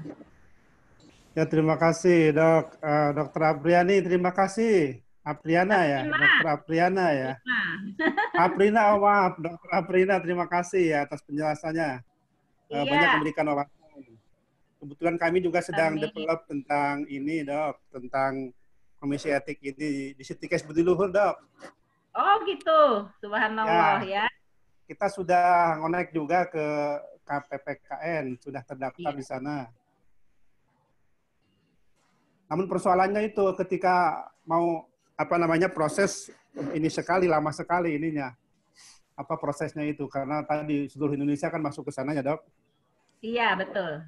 Nah pertanyaan saya gini dok untuk ethical clearance yang penelitiannya itu memakai data sekunder dok itu kan tidak langsung ke manusia itu ke dokumen ya. Bagaimana untuk ethical clearance-nya dok? Makasih. Iya. Gimana host? Eh, moderator, Ibu langsung Ya, atau silakan Dokter Aprina untuk ditanggapi Iya, pertanyaan dari Dokter. Ijun ya. ya. Pertanyaannya baik, bagus sekali ya Pak Ijun. Selamat bergabung di webinar kami Terima kasih, ya. Semoga besok bisa bergabung lagi. Kasih, Dok. kami mengisi bedah buku, promosi sekalian Siap, sama mahasiswa siap dok. mahasiswa. Terima kasih dok. Ingin sekali. Iya. Nah, Siap, Dok. begini. Tadi saya sudah katakan bahwa untuk mendapatkan ethical clearance itu adalah yang berkaitan dengan subjek manusia. Seperti itu. Data sekunder tentunya sangat-sangat berhubungan dengan manusia. Bagaimana untuk mendapatkannya? Untuk ethical clearance tetap kita melakukan pengisian proses kaji etik sama dengan form yang kita gunakan untuk yang langsung yang data primer gitu loh Pak. Jadi kita tetap menggunakan protokol itu karena kaidah-kaidahnya sama seperti itu hanya saja nanti kalau ada yang tidak relevan kita tulis saja tidak relevan karena biasanya terlalu banyak itu di data-data yang sifatnya primer. Dari mana kita untuk Ya. mendapatkan apa namanya IPOM konsennya? IPOM konsennya itu Bapak silakan nanti berhubungan dengan medical apa namanya? eh, medical Record, ya? recordnya. Iya, Rumah medical sakit ya dok record. ya? Ya, Hmm. rumah sakit. Apa- Kalau Bapak melakukannya di rumah sakit, silahkan di rumah sakit. Kalau Bapak melakukannya di puskesmas atau pelayanan kesehatan lainnya, silahkan Bapak eh, meminta untuk penandatanganan inform consent tersebut. Karena itu sama aja sebenarnya proses eh, mengeluarkan data ya, Pak ya, Pak Ijun, seperti itu. Iya, iya. Nah, kemudian Bapak lalui tahapan yang saya katakan tadi, siapkan persyaratannya, isi protokolnya, checklist tujuh standar dibuat, kemudian inform konsen tadi juga sudah dibuat, kalau sudah yakin ya sudah tinggal kirim. Nah, yang pertanyaan Bapak kedua tadi eh, nanti akan melalui proses. Ini yang saya katakan, eh, saya pertegas dulu. Data sekunder ini gampang Pak untuk mendapatkan inform eh, apa namanya ethical clearance. Karena dia Ya. Eh, dibebaskan. Ya dia masuk kategori ya. dibebaskan. Ya dia masuk kategori dibebaskan. Semua kita Ya. lihat sudah lengkap. Yang penting bapak lengkap. Kalau bapak lengkap jangan sampai nanti tidak bisa ditelaah gitu loh. Kalau bapak Ya. sudah masuk ke lengkap semua kami tim reviewer sudah melihatnya lengkap semua termasuk dana yang bapak kirim bukti bayarnya sudah ada semuanya sudah tergambar dengan jelas sudah bapak yakin itu tinggal klik ini dalam waktu tiga hari itu bisa Bapak dapatkan ethical clearance-nya. Seperti itu loh Pak. Kalau tempat kami insya Allah 3 sampai 7 hari ya Pak. Kalau data-data sekunder itu cepat banget ya, karena tidak perlu untuk perbaikan dan tidak perlu untuk klarifikasi. Nah, kemudian yang terkait dengan Bapak katakan tadi sudah masuk ke CAPCAM, tetapi sulit sekali untuk apa namanya eh, proses pengajuan kaji etik yaitu Pak memang saya katakan kami Iya. iya kami sendiri Hmm. aja mengalami kesulitan terus tapi Insya Allah Pak kalau malam hari jam 11 jam 12 malam ya Pak ya jam 24 Iya. malam jam 23 kemudian Bapak habis subuh atau sebelum subuh ya sudah selesai ini sholat juga Bapak Insya Allah kok Pak saya selalu melakukan tahapan itu proses seperti itu dan itu kenceng banget gitu dan kembali lagi Bapak harus punya yaitu kembali ke apa sih namanya itu ini eh, eh, apa data da, paket data Iya. Bapak yang memang eh, support ke situ mendukung gitu loh mendukung ke situ saya nggak Iya. ngomong ininya ya Eh, saya sebenarnya Telkomsel itulah jadi ngomong gitu ya Pak ya Nggak apa-apa, Dok. Nggak apa-apa. Nggak apa-apa ya, karena kita kan Nggak mau tahu mana yang pernah Iya. kita lakukan seperti itu. Iya. Kan Nah, niat itu kita loh, bukan promosi, Dok. Ya, bukan promosi ya, betul, Iya. bukan promosi. Mengeluarkan saja seperti itu. Iya. Pak Jun ini masuk ke Poltekkes, oh enggak ya, mana tadi Uni eh, Setikes apa? Tikes Budi Luhur Cimahi, Dok. Budi Luhur Cimahi. Di ya. Bandung ya. Hmm. Sejak kapan buka itunya eh, komisi etiknya? Sudah lama? Sudah sudah setahun, Dok. Oh, eh, Sudah Pak Dokter setahun. ini eh, ikut anu apa namanya sebagai ketua apa reviewer? Ya, saya ketua baru, Dok. Lagi belajar sama Dokter Aprina nih. Ya sudah nanti bisa chatting-chatting saya ya. Iya, Dok. Iya, Dok. Saya Bisa boleh konsul ya, Dok ya? Boleh, silakan chatting aja ya. Kita Ya, nanti bisa saya minta ini. gitu ya Pak ya. Ya, nanti baik, banyak Dok. hal. Nanti kita juga akan melakukan pelatihan. Tadi Pak Jamil juga sudah bilang seperti itu ya Pak ya. Iya, Oke, siap, Dok. cukup Pak, cukup jelas. Cukup, Dok. Terima kasih, Dok. Iya baik. Jazakillah khair. Iya. Baik, eh, ya terima kasih untuk Dokter Ijen dan Dokter Aprina eh, untuk sharing-sharing ya dan sekaligus wawasan untuk seluruh peserta yang hadir dalam webinar kita pada pagi hari ini. Pagi menjelang siang. Selanjutnya Bapak Ibu, apakah ada yang ingin bertanya lagi pada Dokter Aprina? Kami silakan. Baik, kalau belum ada Dokter Aprina, eh, saya lihat belum ada tadi di fasilitas chat pun belum ada yang bertanya. Boleh Dokter Aprina untuk memberikan closing statement? Ibu Aprina silakan. Ya, baik. Terima kasih Bapak Ibu semua, teman-teman sekalian ya yang ada di seluruh Indonesia. Tentunya senang sekali bisa bergabung dengan teman-teman yang ada di Indonesia. Tetapi yang saya minta kepada teman-teman semua, tolong kalau melakukan suatu penelitian jangan pengen mendapatkan suatu hasil, tetapi kita tidak melihat dari aspek eh, baik secara aspek ilmiah maupun secara etis. Karena itu apa? Itu manfaatnya tentunya untuk halayak ramai ya, untuk halayak ramai. Untuk apa kita berbohong? Untuk apa kalau kita cuma melakukan penelitian yang sudah habis waktu, habis dana, biaya dan lain sebagainya, namun tidak ada eh, untuk peningkatan pelayanan kesehatan yang tentunya harapan kita untuk mencerdaskan kehidupan bangsa, masyarakat seluruhnya dan sehat tentunya. Nah, itu yang saya harapkan kepada Bapak Ibu semua. Semoga kita bisa kembali bergabung. Besok saya masih mengisi untuk webinar bedah buku sekaligus promosi. Silakan webinar bedah buku itu terkait dengan kebidanan, gizi maupun kesehatan masyarakat ya. Nanti silakan bisa bergabung. Nah, di situ nanti kami akan berikan buku-buku gratis buat Bapak Ibu semua yang mendapatkan prize terkait dengan pelatihan yang besok atau webinar yang kita lakukan besok. Nah, demikian Bapak Ibu, senang sekali sekali lagi saya ucapkan terima kasih. Kalau nanti ada hal yang kurang berkenan atau hal yang perlu didiskusikan, silakan menghubungi WA saya ya Bapak Ibu sehingga kita bisa banyak berdiskusi. Baik, terima kasih. Assalamualaikum warahmatullahi wabarakatuh. Waalaikumsalam warahmatullahi wabarakatuh. Ya, Waalaikumsalam warahmatullahi wabarakatuh. Terima kasih Bu, Ibu Afrina atas materi yang disampaikan. Baik Bapak Ibu, Alhamdulillah berakhir sudah sesi webinar seminar kita pada pagi hari ini.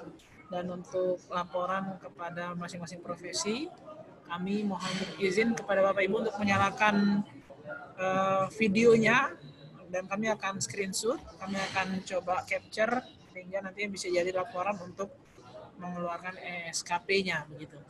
Baik, silakan dinyalakan Bapak Ibu videonya masing-masing. Oke, saya hitung dulu. Sebentar. Baik, boleh tersenyum. Satu, dua, tiga. Ya. Sekarang slide duanya.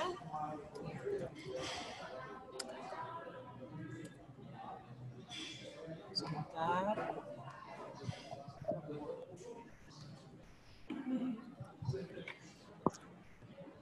Oke, sekali lagi. Satu, dua, tiga.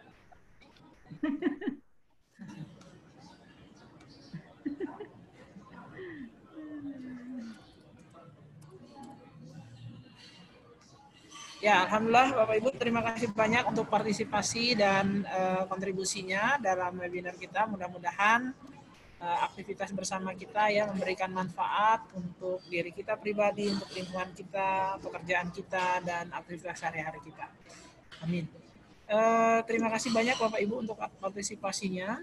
Salam hangat dari Provinsi Lampung, 3D Organizer, dan Indonesia Medical Center juga sebagai fasilitator penyelenggara kegiatan pada pagi sampai dengan siang hari ini. Mohon maaf apabila ada hilaf, salah, ataupun hal-hal yang kurang pas dalam pelaksanaan webinar hari ini. Dan spesial terima kasih juga untuk Dr. Aprina, untuk Profesor tadi uh, yang sudah membersamai kita uh, dalam tema seminar kita siang hari ini. Baik Bapak Ibu, mari kita tutup kegiatan kita dengan melafazkan nafas hamdalah, alhamdulillahirrahmanirrahim. Dan informasi dari panitia, uh, untuk sertifikat secepat-cepatnya akan kami berikan di hari Senin, selambat-lambatnya satu pekan dari hari ini, seperti itu. Ya, mudah-mudahan berkenan untuk menanti dan nanti informasi lanjutannya akan kami sampaikan via WhatsApp group ataupun bisa menghubungi koordinator masing-masing yang memfasilitasi keberadaan Bapak Ibu di seminar kita pada uh, pagi siang hari ini di tanggal 15 Agustus 2020. Ya, terima kasih Bapak Ibu semua. Assalamualaikum warahmatullahi wabarakatuh. Waalaikumsalam. Assalamualaikum warahmatullahi wabarakatuh. Waalaikumsalam warahmatullahi